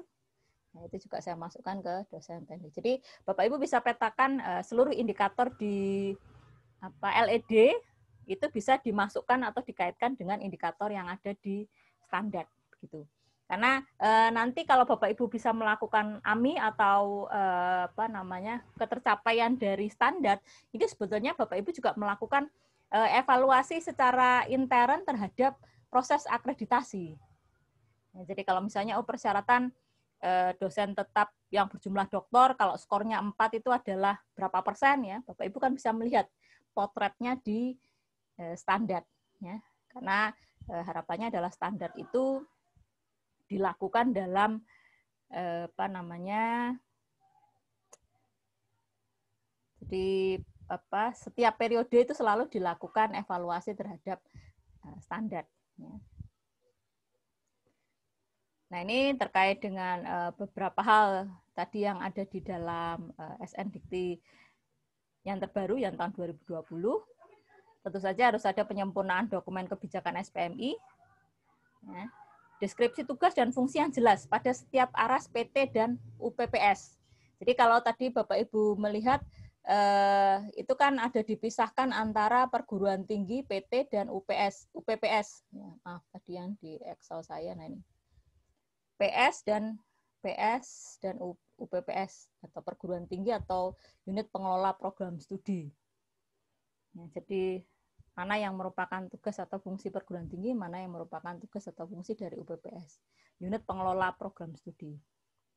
Kemudian menambahkan bab subbab indikator kinerja utama dan target capaian. Nah, ini juga yang kami lakukan terkait dengan eh, evaluasi standar. Jadi eh, standar kami itu indikatornya dulu ada beberapa yang tidak mengacu akreditasi sehingga kita harus melakukan perubahan. Ya, jadi menambahkan bab atau subbab indikator kinerja utama di dalam eh, standar dan target capaiannya. Kemudian penyederhanaan prosedur dalam manual SPMI. Kemudian penetapan standar yang menunjukkan secara jelas tingkat pelampauan terhadap SNDT. Ya, jadi jika sudah ada penetapan, dilakukan penambahan standar terkait dengan perubahan peraturan perundangan, misalnya kebijakan Merdeka Belajar. Ya, jadi sudah ditetapkan, kemudian eh, dilakukan penambahan standar terkait dengan tadi adanya kebijakan merdeka belajar tadi. Jadi misalnya ada standar terkait dengan apa mahasiswa itu boleh apa mengambil mata kuliah itu nah ini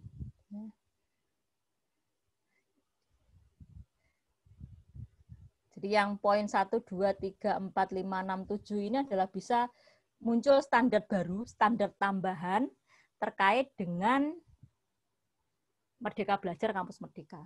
Nah, ini juga kami juga uh,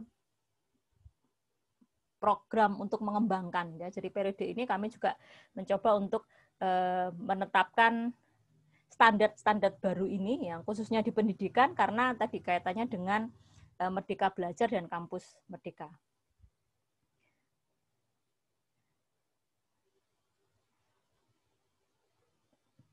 Kemudian yang berikutnya adalah pelaksanaan PPEPP secara konsisten, termasuk di dalamnya melembagakan audit mutu internal dan rapat tinjauan manajemen yang efektif.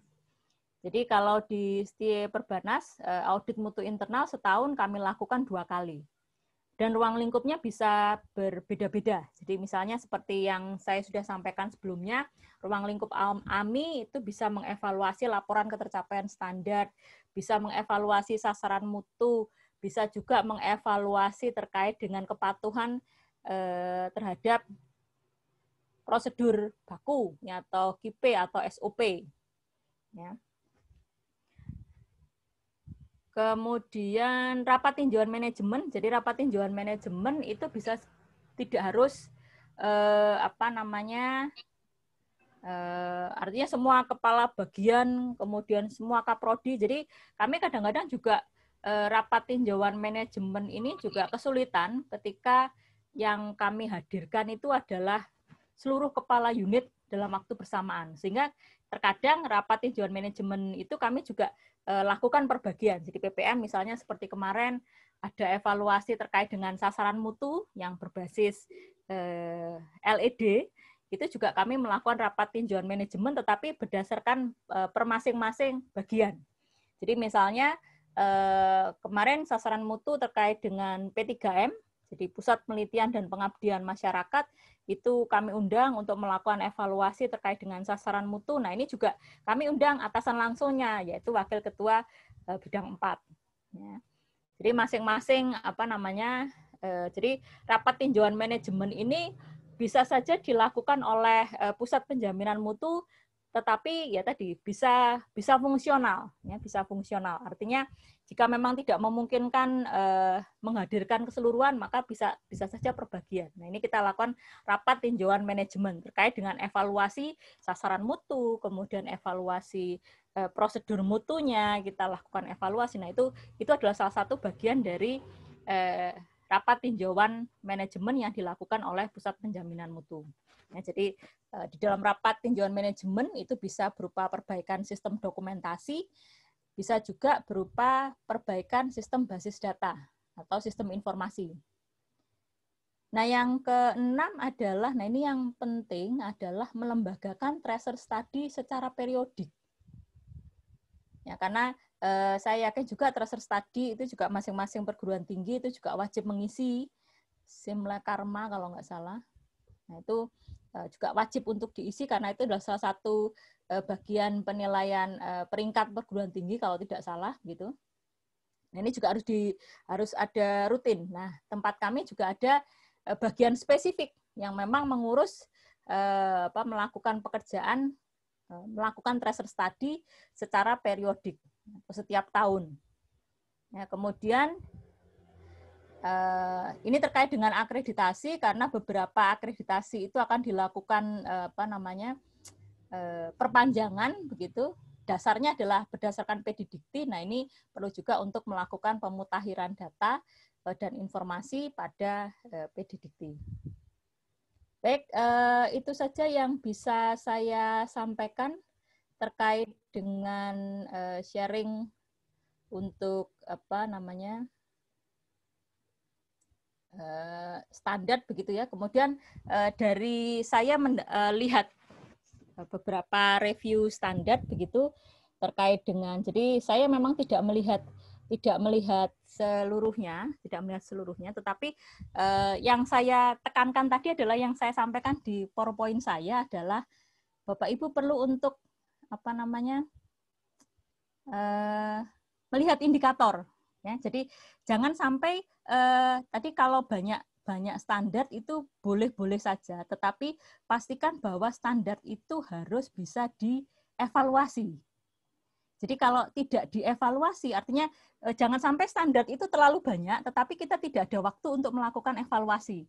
Nah, kami juga yang eh, kemarin, jadi seluruh kami hitung indikatornya ada 873. Nah, kami cukup, aduh, ini kalau ngaudit eh, 873 item kita audit juga juga juga repot. Makanya kami juga sesuaikan itu dengan eh, indikator indikator yang ada di eh, eksternal gitu. Jadi kami juga melakukan penyesuaian terkait dengan apa eh, standar kami. Jadi yang di 2018 kami juga ada indikator dan memang ada beberapa indikator yang tidak ada atau tidak diatur secara eksternal. Nah, itu yang kita hilangkan. Nah, itu yang kita hilangkan. Artinya eh, apa namanya? Jadi bisa saja kalau saya lihat tadi ada standar IT begitu ya. Nah, itu bisa saja dijadikan satu saja jadi sarana dan prasarana teknologi informasi begitu. Jadi kalau penyediaan penyediaan dokumen begitu cukup satu saja tetapi apa namanya? eh, ya tadi indikatornya jangan terlalu banyak gitu. Jadi beberapa hal itu yang perlu perlu disampaikan dan memang di tempat kami itu juga melakukan evaluasi standar atau indikatornya itu kami coba didasarkan pada eksternal. Jadi kita tidak menciptakan sendiri sehingga nanti kalau eh, indikator-indikator eksternal itu kita masukkan di dalam standar di tempat kita, itu tentu saja akan memudahkan kita ketika akreditasi apa pun, gitu. Jadi eh, apa namanya itu yang bisa saya sampaikan. Mohon maaf jika memang ada beberapa hal yang apa eh, apa tidak tidak pas begitu monggo kalau misalnya uh, diskusi ataupun tanya jawab itu bisa dilanjutkan pada sesi itu begitu? Pak Rian saya kembalikan lagi. Baik terima kasih banyak Ibu Lucy atas semua peran materinya. Yang sangat jelas sekali dan komprehensif. Banyak menambah wawasan kami di Indonesia Banking School banyak hal baru yang juga baru kami pahami uh, Baik, untuk sesi selanjutnya adalah sesi tanya jawab. Di sini sudah ada dua penanya. Yang pertama dari Pak Surahman. Uh, beliau bertanya, uh, dalam pelaksanaannya SPMI uh, masih konvensional atau sudah menggunakan sistem informasi manajemen khusus untuk SPMI? Artinya apakah ada program aplikasinya khusus, jadi tidak manual lagi. Karena banyaknya aktivitas dan data yang harus diolah disajikan. Itu yang pertama. Yang kedua dari uh, ini kepada Ibu Lucy yang pertama mengenai siklus PPEPP, apakah ada standar waktu pelaksanaan dari satu siklus ke siklus lainnya, misalnya dari P yang pertama ke E, gitu, dari P ke P lalu ke E lagi. Lalu untuk bukti pelaksanaannya SPMI itu seperti apa?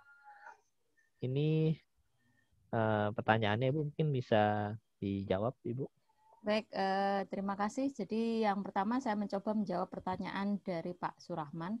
Jadi memang eh, kami tidak menggunakan eh, sistem informasi manajemen khusus.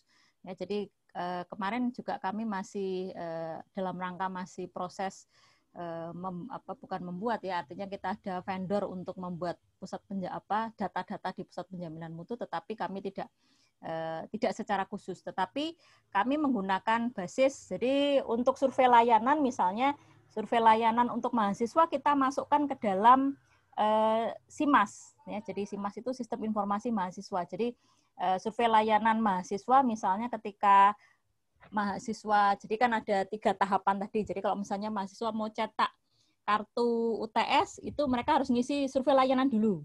Kalau survei layanan nggak diisi, ya mereka nggak bisa cetak kartu TS misalnya. Kemudian, jadi survei layanan kami ada berapa ya untuk mahasiswa tiga kalau nggak salah, tiga ya. Jadi kami letakkan eh, kami letakkan di cetak kartu UTS, kemudian melihat nilai UTS dan melihat nilai UAS. Jadi eh, jadi survei layanan pertama yang untuk mahasiswa kalau mereka dia tidak apa tidak me, mengisi survei layanan tahap satu, dia nggak bisa cetak kartu tes. Kemudian yang survei layanan kedua ini kalau dia tidak kalau dia mau melihat nilai UTS itu harus harus ngisi dulu survei layanan itu. Kalau enggak ya dia nggak akan muncul nilai UTS-nya. Kemudian yang UAS ini adalah eh, evaluasi terhadap dosen. Jadi setiap mata kuliah itu kami eh, mahasiswa itu memberikan evaluasi kepada evaluasi kepada mahasiswa. Ya, evaluasi ke, uh, sorry, mahasiswa memberikan evaluasi kepada dosen begitu. Nah, itu kalau dia mau lihat nilai UAS harus mengisi itu. Jadi tidak ada tidak ada apa namanya? Eh, aplikasi khusus untuk SPMI tapi terkait dengan uh, survei itu kami menggunakan kami masukkan ke dalam uh, sistem informasi sistem informasi mahasiswa dan sistem informasi uh, dosen. Jadi kalau misalnya uh, dosen ya kami kembangkan yang kayak Google Form seperti itu. Nah, itu kan lebih memudahkan. Kemudian kalau evaluasi materi, jadi evaluasi materi itu juga kita ngambil datanya di uh, siswo. Jadi kalau dosen itu ketika dia mengajar, itu kan mengisikan uh, materi, materi yang diajarkan. Nah, uh, materi yang diajarkan untuk masing-masing kelas itu uh, diisikan oleh dosen di apa sistem siswa tersebut nah itu yang di-download atau diambil atau di, bisa dicek oleh dosen PJMK untuk dilihat kesesuaian materinya dengan kontrak pembelajaran. Jadi memang tidak ada e, secara spesifik tetapi ada beberapa apa fungsi-fungsi seperti survei itu memang yang sudah masuk jadi satu ke dalam eh, apa namanya ke dalam sistem informasi yang lain. Begitu Pak Surahman, semoga eh, penjelasan saya eh, bisa ditangkap dengan jelas. Kemudian dari Bu Asri, ada dua pertanyaan mengenai siklus PPEPP, apakah ada standar waktu pelaksanaan dari satu siklus ke siklus lainnya, misalnya dari P ke P ataupun ke E. Nah ini kami tidak ada, ya, jadi tidak ada standar eh, antara P satunya dengan P satunya dengan E itu tidak ada. Tetapi PPEPP itu adalah kami lakukan seluruhnya dalam satu siklus. Satu siklus adalah satu tahun kalender akademik. Jadi misal eh, terkait tadi kami lakukan jadi di awal September ini, jadi di awal September ini adalah merupakan evaluasi atau mulai penetapan. Jadi mulai penetapan itu sebelumnya memang sebelum September itu sudah ada eh, setiap unit kerja sudah diminta untuk membuat RKAT. Jadi RKAT itu kami lakukan sekitar bulan eh, April, Mei, Juni. Ya, April, Mei, Juni itu RKAT. Kemudian untuk sasaran mutu sasaran mutu di bulan September itu adalah merupakan apa namanya eh, sasaran mutu capaian di akhir periode. Jadi memang tidak ada apa standar waktu antara masing-masing P ke P dan ke E, tetapi PPEPP itu dilakukan dalam satu siklus tahun akademik. Begitu Bu Aris. Kemudian yang kedua untuk bukti pelaksanaan SPM itu seperti apa. Jadi untuk bukti eh, pelaksanaan dari SPMI itu adalah bisa dilihat dari apa namanya eh, SOP tadi. Ya, SOP kemudian disertai dengan apa formulir. Jadi kalau di dalam eh, SOP atau prosedur prosedur mutu itu kan ada tahapannya, kemudian ada formulir yang digunakan. Nah, untuk melihat apakah eh, SPMI telah dilaksanakan, tentu saja bisa juga basisnya adalah eh, audit mutu. Jadi misalnya audit mutu terhadap eh, prosedur, ya, audit mutu terhadap terhadap prosedur. Nah, itu bisa bisa juga dijadikan sebagai bukti pelaksanaan dari SPMI. Jadi bisa saja ketika penetapan itu bisa dimasukkan eh, sasaran mutu dari unit kerja. Jadi penetapan sasaran mutu jadi baseline sasaran mutu dari unit kerja. Kemudian pelaksanaan itu bisa dilihat eh, artinya di setiap prosedur itu apakah formulir yang dijanjikan dalam setiap eh, prosedur mutu itu sudah sudah ada ya. Kemudian evaluasi dan monitoring itu bisa dilakukan adanya apa namanya eh, AMI ataupun evaluasi yang dilakukan oleh gugus kendali mutu, ya itu adalah merupakan bukti dari pelaksanaan eh, PPEPP. Kemudian yang keempat pengendalian, ya.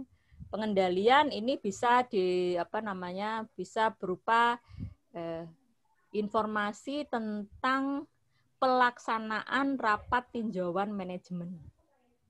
Ya, jadi kalau sudah dilakukan AMI, kemudian kan ada ada rapat tinjauan manajemen, oh ada yang ada temuan ini, Eh, standarnya tidak tercapai atau sasaran mutunya tidak tercapai, apa yang harus dilakukan? Nah, itu adalah ada bukti pelaksanaannya adalah pada eh, apa namanya? Apa eh, bukti pelaksanaannya berupa apa notulen dari rapat tinjauan manajemen. Kemudian peningkatan itu buktinya adalah bisa dalam bentuk bisa dalam bentuk apa namanya Eh, evaluasi ataupun review terhadap standar. Ya, jadi notulen atau berita acara evaluasi ataupun review terhadap uh, standar ya, yang dilakukan. Jadi misalnya kita sudah melakukan AMI, kemudian perlu melakukan perbaikan terhadap standar. Nah itu yang yang perlu di, di apa namanya perlu ditetapkan. Kemudian kalau bukti Eh, bukti pelaksanaan SPMI secara keseluruhan, artinya terkait dengan standar, bisa saja disampaikan laporan audit mutu internal terkait dengan eh, pencapaian standar. Ya, jadi seperti eh, tadi yang sudah kami sampaikan, kami juga mempunyai eh, laporan terkait dengan capaian capaian standar. Ya, ini. Itu Bu Asri, semoga bisa menjawab pertanyaan. Baik, terima kasih Bu Sian atas jawabannya. Baik, Bapak Ibu lain di sini secara langsung mungkin ada yang ingin bertanya, kami persilahkan. Boleh nggak saya Mas Rian? Oh iya Pak Surahman, silakan Pak. Pak Surahman ya. lagi. Ya, Bu Lucy, uh, kita samakan persepsi ya. Mungkin begini ya, sebenarnya SPMI itu adalah sebuah kegiatan ya, di mana kita punya standar. Standar itu termasuk di dalamnya pelaksanaan kegiatan yang akan kita laksanakan kita punya standarnya yeah. termasuk tadi sasaran mutu yang akan kita capai gitu ya mm. Kemudian P yang kedua adalah pelaksanaan berarti yang kita buat tadi kita laksanakan dulu mm. nah setelah kita laksanakan baru kita evaluasi hasil evaluasi itu bisa belum tercapai bisa sudah tercapai bisa melebihi ketercapaiannya kan yeah. nah habis itu kita evaluasi tuh uh, kemudian ada audit mutu evaluasi, monitoring dan sebagainya. Setelah itu ke berbedanya tadi kurang, sama atau lebih, itulah yang akan kita kendalikan kan sesuai dengan standar. Yeah. Nah selanjutnya baru kita tingkatkan yang kurang tadi ya. Begitu yeah. ya bu gambaran ini. Nah yeah. sekarang yeah, kembali betul, ke standar dulu. Ke tadi kembali ke standar dulu sih. Yeah. Di sana standar itu ada yang kualitatif, ada yang kuantitatif. Contoh, audit itu kan ada audit prosedur. Contoh, apakah prosedur itu sudah dilaksanakan dengan benar gitu kan? Hmm. Sesuai nggak dengan flowchartnya gitu? Hmm. Itu adalah prosedur. Tapi ada juga yang sifatnya standarnya kuantitatif. Contoh, hmm. di indeks, uh, indikator kinerja utama misalnya harus tercapai sekian misalnya gitu kan? Nah, itu uh, cara-cara auditnya pun akan berbeda kan Bu? Ya, nah, betul. ada yang ada ada audit untuk prosedur, ada audit untuk capaian atau target ya. kan? Yeah. Nah, baru kemudian uh, kita lihat juga tuh perbedaannya mm-hmm. kurang, sama atau lebih, baru kita tingkatkan dan sebagainya. Itu sebenarnya kan gambaran besarnya. Hanya tadi saya bertanya gini Bu, alangkah bagusnya kalau semua itu kita buat dalam satu sistem aplikasi gitu ya. Yeah. Sehingga kita tinggal data input. Tadi Ibu bilang hanya sebagian. Survei mm-hmm. kepuasan pelanggan, evaluasi mm-hmm. dosen oleh mahasiswa. Itu memang ada sistem sendiri.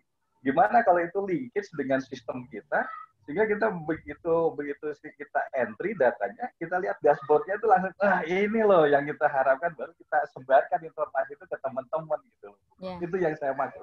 Terima yeah, kasih Bu Lucy. Ya betul. Ya. Uh, betul Pak. Jadi memang uh, apa namanya uh, di tempat kami juga masih beberapa tadi uh, parsial gitu ya. Jadi kalau misalnya dokumen yeah. terkait dengan dokumen itu memang kami uh, ada website sendiri untuk apa pusat yeah. penjaminan mutu tapi itu juga internal. Jadi tidak bisa yeah. uh, eksternal itu juga juga lihat. Jadi memang uh, kami juga melakukan beberapa perbaikan terkait dengan di pusat penjaminan mutu kami yang memang harapannya adalah tadi ada sistem informasi yang uh, tersendiri untuk di pusat penjaminan yeah. mutu tidak yeah. tidak apa uh, terpisah antara satu dengan yang yeah. lainnya begitu Pak yeah. Rahman. Yeah. Jadi diintegrasikan gitu. Jadi tugas teman-teman di pusat penjaminan mutu atau gugus kendali mutu baik tingkat prodi atau tingkat ini lebih ringan gitu loh Bu ya, melaksanakannya. Betul. Saya nggak kebayang kalau manual kita menetapkan standar standar PT aja ada tiga itu satu standar aja isinya berapa dua dua puluh delapan atau berapa kali dia wah pusing banget itu Bu. Ya, Oke, betul. terima kasih Bu Lucy. Terima ya, kasih sama-sama Pak Surahman. Terima kasih.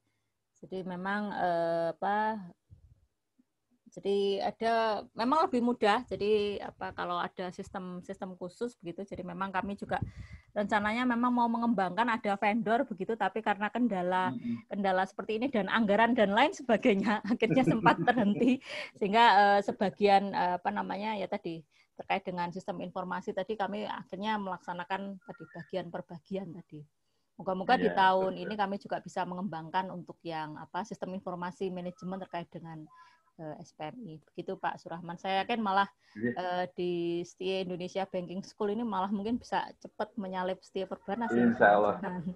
Insya Allah, Insya Allah. Ada Ibu Ketua Mbak Lucy yang udah siap-siap. Oke, siap. Nanti kalau gitu gantian nanti yang uh, kita yang berguru ke STI Indonesia Banking School siap. terkait dengan sistem informasi manajemennya gitu. Iya, iya, monggo. Antun Pak Lucy Iya, sama-sama Pak Surahman. Terima kasih Bu Luciana dan juga Pak Surahman. Baik kepada Bapak Ibu semua. Yang lain mungkin ada lagi yang ingin ditanyakan kepada Ibu Luciana?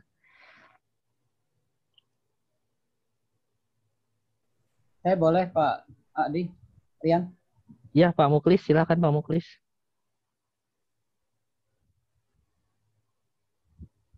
Masih mute Pak, maaf. Lagi. Sekarang sudah ya? Sudah Pak. Ya. Sudah Pak.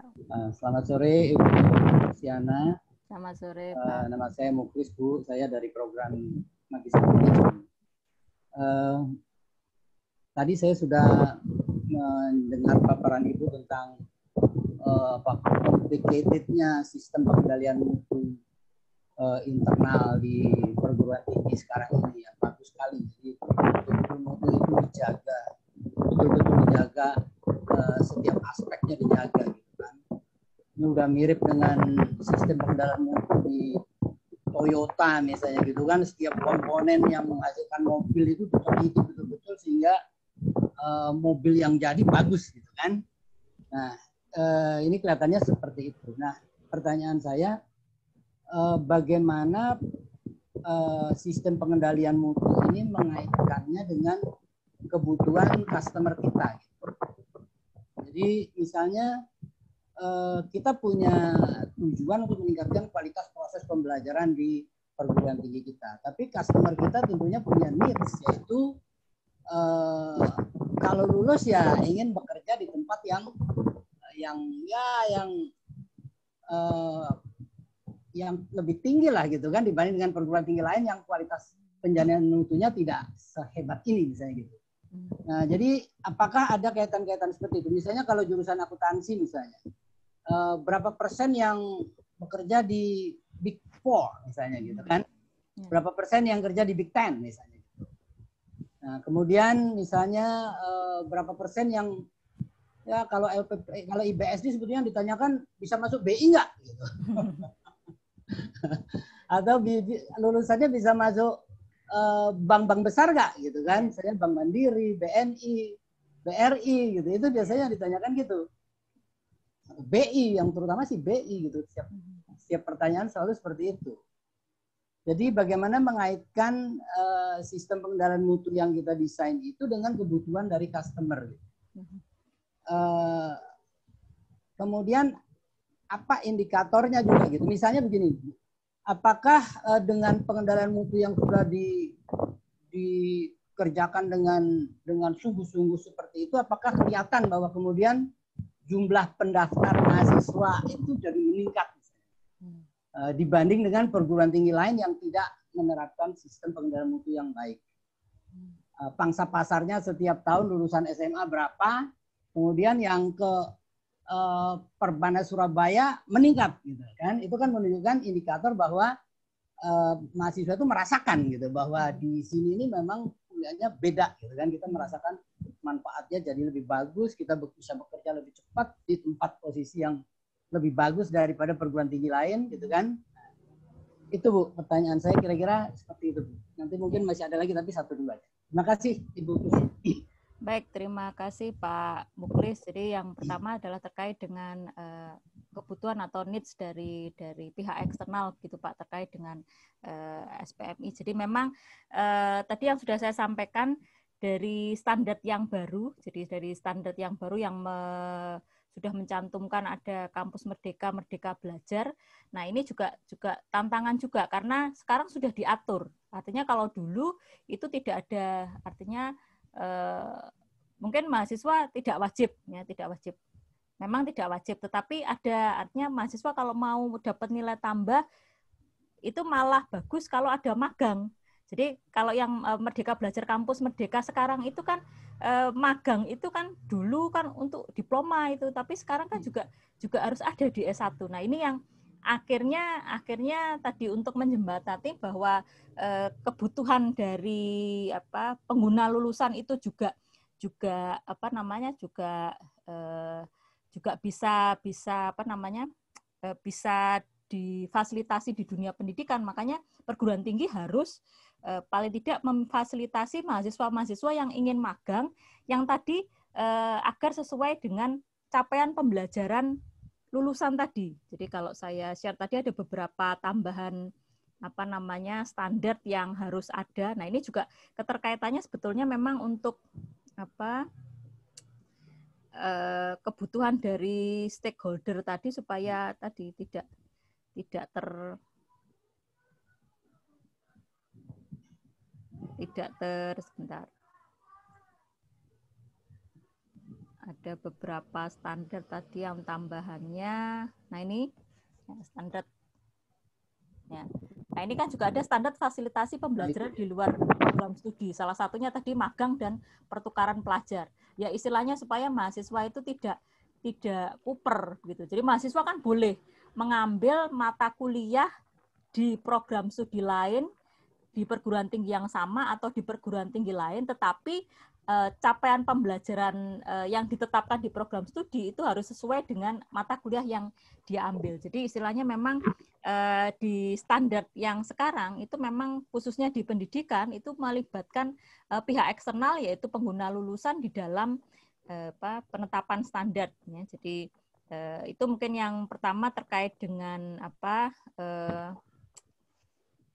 pertanyaan pertama dari Pak Muklis, kemudian pertanyaan kedua terkait dengan apakah dengan uh, eh, SPMI yang baik itu juga juga uh, berdampak pada peningkatan jumlah mahasiswa. Uh, kalau kalau kita bicara jumlah uh, yang sekarang memang ini outlier ya Pak ya periode sekarang periode outlier. Tetapi uh, kami itu juga apa beberapa hal yang kami cermati ketika kami apa berusaha mengembangkan SPMI artinya dosen mengajar itu kami pantau, kemudian dosen yang eh, tidak sesuai juga kami tegur. Itu dampaknya adalah eh, kami tahunya adalah dari orang tua mahasiswa. Jadi orang tua mahasiswa itu kadang-kadang jadi efek efek ketika kakaknya sudah kuliah di sini, ya sudah orang tuanya percaya adiknya adiknya di sini. Jadi ada semacam kepercayaan trust itu, Pak, yang jadi yang sehingga ketika kami setiap tahun itu juga mengundang orang tua mahasiswa untuk ke kampus sekaligus ngobrol-ngobrol. Nah, ada juga yang ada juga apa eh, orang tua yang menyampaikan eh, dulu anak saya kakaknya itu dosen pembimbingnya si A. Nah, karena cerita ke adiknya, lah kok delalah adiknya itu dosen pembimbing akademiknya juga si A. Kami mau minta apa eh, ganti dosen wali bisa. Nah, ini kan bagi kami kan juga evaluasi. Artinya orang tua itu juga juga apa menyampaikan Eh, keluhan atas dosen pembimbing akademik si A eh, apa si A begitu. Nah, ini kan kita juga baik Pak, nanti kita akan apa tindak lanjuti atau kan kita evaluasi. Jadi eh, ada juga yang eh, terkait dengan kedisiplinan begitu. Jadi eh, respon dari orang tua mengapa anaknya sekolah di Setia Perbanas itu juga diinformasikan dulu itu enggak pernah sih ini bisa bangun pagi tapi sejak kuliah di Setia Perbanas itu jadi bangun pagi karena ada kuliah yang mulai jam 6 lebih 15 begitu. Nah, ini ini juga jadi ini yang kami kami rasakan artinya memang eh, kualitas yang kami bangun dengan apa namanya dengan artinya dengan mempertimbangkan tadi eh, standar-standar tertentu itu juga mempengaruhi eh, apa namanya eh, penerimaan mahasiswa kami. Jadi memang yang untuk periode ini itu eh, ya outlier pak. Jadi memang kami juga mengalami penurunan, ya, tetapi ya, Eh, apa namanya saya yakin ini juga dirasakan oleh seluruh ya, ya, ya. perguruan tinggi. Tetapi eh, dari dampak dampak ini juga kami biasanya eh, apa efek marketingnya juga kami kami informasikan. Jadi misal kami dulu uh, menjadi perguruan tinggi pengasuh terbaik itu juga kami artinya uh, Informasikan. kami diinformasikan begitu. Jadi entah itu uh, lewat koran atau sosial media. Jadi itu yang kami coba untuk uh, kembangkan bahwa secara secara kualitas kami juga uh, ada standar-standar tertentu yang kami tetapkan gitu. Begitu Pak Muklis. Ya, terima kasih. Semoga menjawab pertanyaan Pak Muklis. Terima kasih. Terima kasih Pak Muklis dan juga Bu Luciana atas jawabannya. Masih diizinkan untuk satu pertanyaan lagi Bu ini? Boleh, silakan. Boleh. Ini ada dari Will Andila. Uh, selamat siang Bu Lucy. Bagaimana cara menggerakkan dosen koordinator dan dosen rumpun tadi kelompok kalian kalau kami disebutnya dosen rumpun bu kalau di kami okay. uh, kelompok kalian dalam melakukan monitoring dan evaluasi kegiatan pembelajaran sehari-hari bagaimana cara menggerakkan mereka bu memotivasi atau menggerakkan mereka baik eh, jadi eh, kami juga ada istilahnya KPI KPI Key Performance Indicator. Jadi eh, khusus untuk dosen-dosen yang eh, menjabat menjabat eh, atau bukan menjabat ya artinya dikenai tugas atau fungsi tertentu itu juga ada penilaian terhadap terhadap eh, dosen. Jadi memang eh, di tempat kami untuk dosen yang koordinator yang koordinator kelompok yang koordinator yang membuat laporan itu kami juga sampaikan ada insentif tapi insentifnya nggak besar pak mungkin kalau di IBS saya yakin besar lah karena kan CS gitu ya sama Bank Indonesia mungkin. Nah, kalau di tempat kami ada insentif. Jadi ada insentif uh, terkait dengan hasil evaluasi yang di, dilaporkan.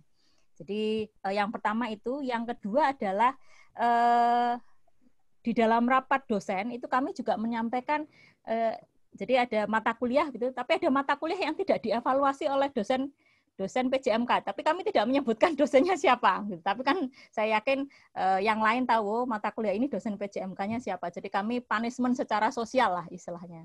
Jadi kami juga informasikan di dalam eh, rapat di program studi, artinya eh, apa beberapa mata kuliah mata kuliah yang beberapa mata kuliah mata kuliah yang sudah dilakukan evaluasi dan ada beberapa mata kuliah yang tidak dilakukan oleh dilakukan evaluasi oleh dosen PJMK. Jadi ini yang kami uh, lakukan jadi ada uh, apa namanya reward insentif begitu tapi memang tidak banyak berdasarkan uh, laporan yang di laporan yang dibuat oleh dosen PJMK. Selain itu juga ada punishment uh, sosialnya yang kami sampaikan artinya uh, ada beberapa dosen yang tidak melakukan evaluasi terhadap mata kuliah. Begitu Pak Will. Baik. Terima kasih Ibu Luciana. Uh, baik Bapak Ibu. Apakah ada lagi pertanyaan? Jika tidak, kami coba tutup untuk temuan hari ini. Tidak ada lagi. Baik, uh, mungkin sebagai kesimpulan saja dalam pertemuan hari ini tadi sudah dijelaskan yang pertama mengenai penerapan SPMI di STY Perbana Surabaya. Tadi sudah dijelaskan bagaimana uh, eh, STY Perbana Surabaya itu di dalam pusat penjaminan mutunya ada bagian SPMI, ada bagian SPME dan AMI dan serta bagian PTP. Jadi di dalam STI Perbanas Surabaya juga ada penjaminan mutu yang pusat dan juga ada gugus kendali mutu uh, pada program studi yang terdiri dari wakil ketua satu, kalau di kami wakil ketua bidang akademik, kepala program studi dari penjaminan mutu, dosen koordinator, dosen kelompok kajian dan juga anggota tim GKM. Eh, lalu dalam proses penetapan, pelaksanaan dan evaluasi dan pengendalian peningkatannya. Jadi proses penetapannya tentu dengan proses menentukan standarnya lebih dahulu, tentukan baseline untuk sasaran mutunya, serta dilakukan penyusunan RKAT-nya. Lalu yang kedua dalam pelaksanaannya itu melalui dokumen-dokumen uh, eh, SOP dari kami sebagai panduan kerja, serta evaluasinya dilakukan monitoring dan evaluasi secara internal, tidak harus uh, melalui AMI saja, tapi bisa melakukan evaluasi yang di luar AMI. Lalu untuk pengendalian yaitu adanya rencana tindak lanjut untuk setiap hasil MONEF internal dan juga AMI dan peningkatannya itu dengan tindakan-tindakan perbaikan dari uh, hasil pengendalian tersebut. Dan juga nantinya akan ditetapkan lagi uh, standar barunya hasil uh, dari peningkatan tersebut. Mengenai review dokumen, tadi disampaikan bahwa uh, evaluasi uh, agar dilakukan evaluasi terhadap indikator-indikator pada standar yang didasarkan pada eksternal ya bisa dari uh, akreditasi ya peraturan BNPT bisa juga dari Permendikbud itu dijadikan uh, indikator-indikator utamanya.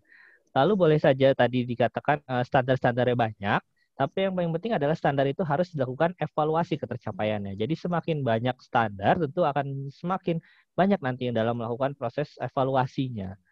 Jadi eh, disarankan juga kalau indikator yang tadi di STM Perbanas melakukan jika ada indikator yang tidak ada di eksternal itu bisa dihapus saja. Jadi masukkan indikator-indikator yang sesuai dengan indikator yang ada di eksternal. Untuk bukti pelaksanaannya tadi bisa melalui laporan AMI dan juga tadi laporan uh, pelaksanaan berdasarkan prosedur-prosedur itu ya bukti bahwa kita melakukan dalam uh, pelaksanaan penjaminan mutu internal. Baik, uh, mungkin itu yang bisa kami simpulkan pada pertemuan hari ini. Uh, kami ucapkan mohon maaf Ibu apabila ada kekurangan dan kesalahan dari kami. Uh, saya selaku moderator mohon izin berdiri. Uh, untuk selanjutnya acara kami kembalikan kepada pembawa acara. Terima kasih Ibu Luciana. Terima kasih Pak Rian.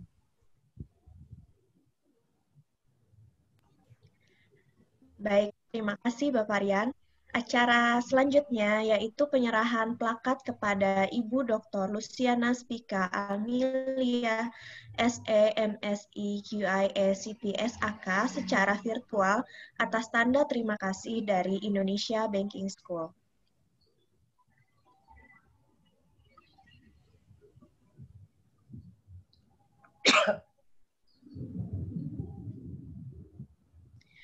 Terima kasih kepada Ibu Luciana dan moderator Bapak Aryan. Semoga apa yang didapat apa yang dipaparkan dapat bermanfaat bagi kita semua. Sebelum acara diakhiri, izinkan saya untuk memandu sesi foto bersama dengan pembicara, pimpinan IBS, dan seluruh peserta dan seluruh peserta. Untuk itu, agar seluruh peserta menyalakan kameranya untuk dokumentasi sharing session hari ini. Saya akan memandu dalam hitungan ketiga.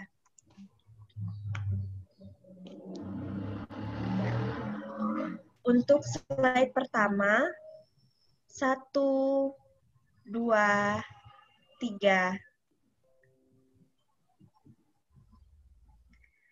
Untuk slide kedua, satu, dua, tiga.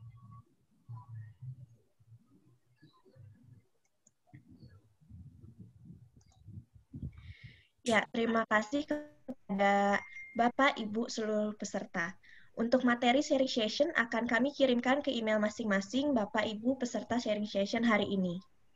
Dengan ini berakhir sudah sharing session pada hari ini dengan STIE Perbana Surabaya.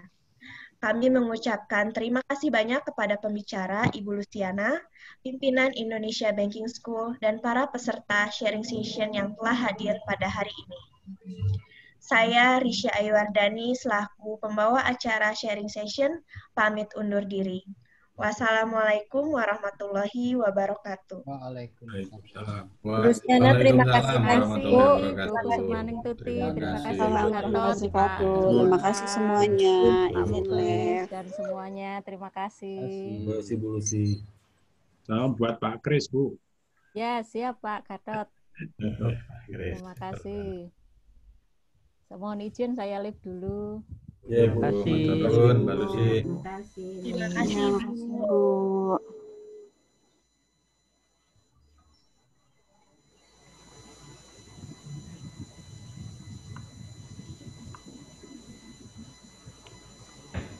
Terima kasih Bapak Ibu semua sudah hadir. Terima kasih.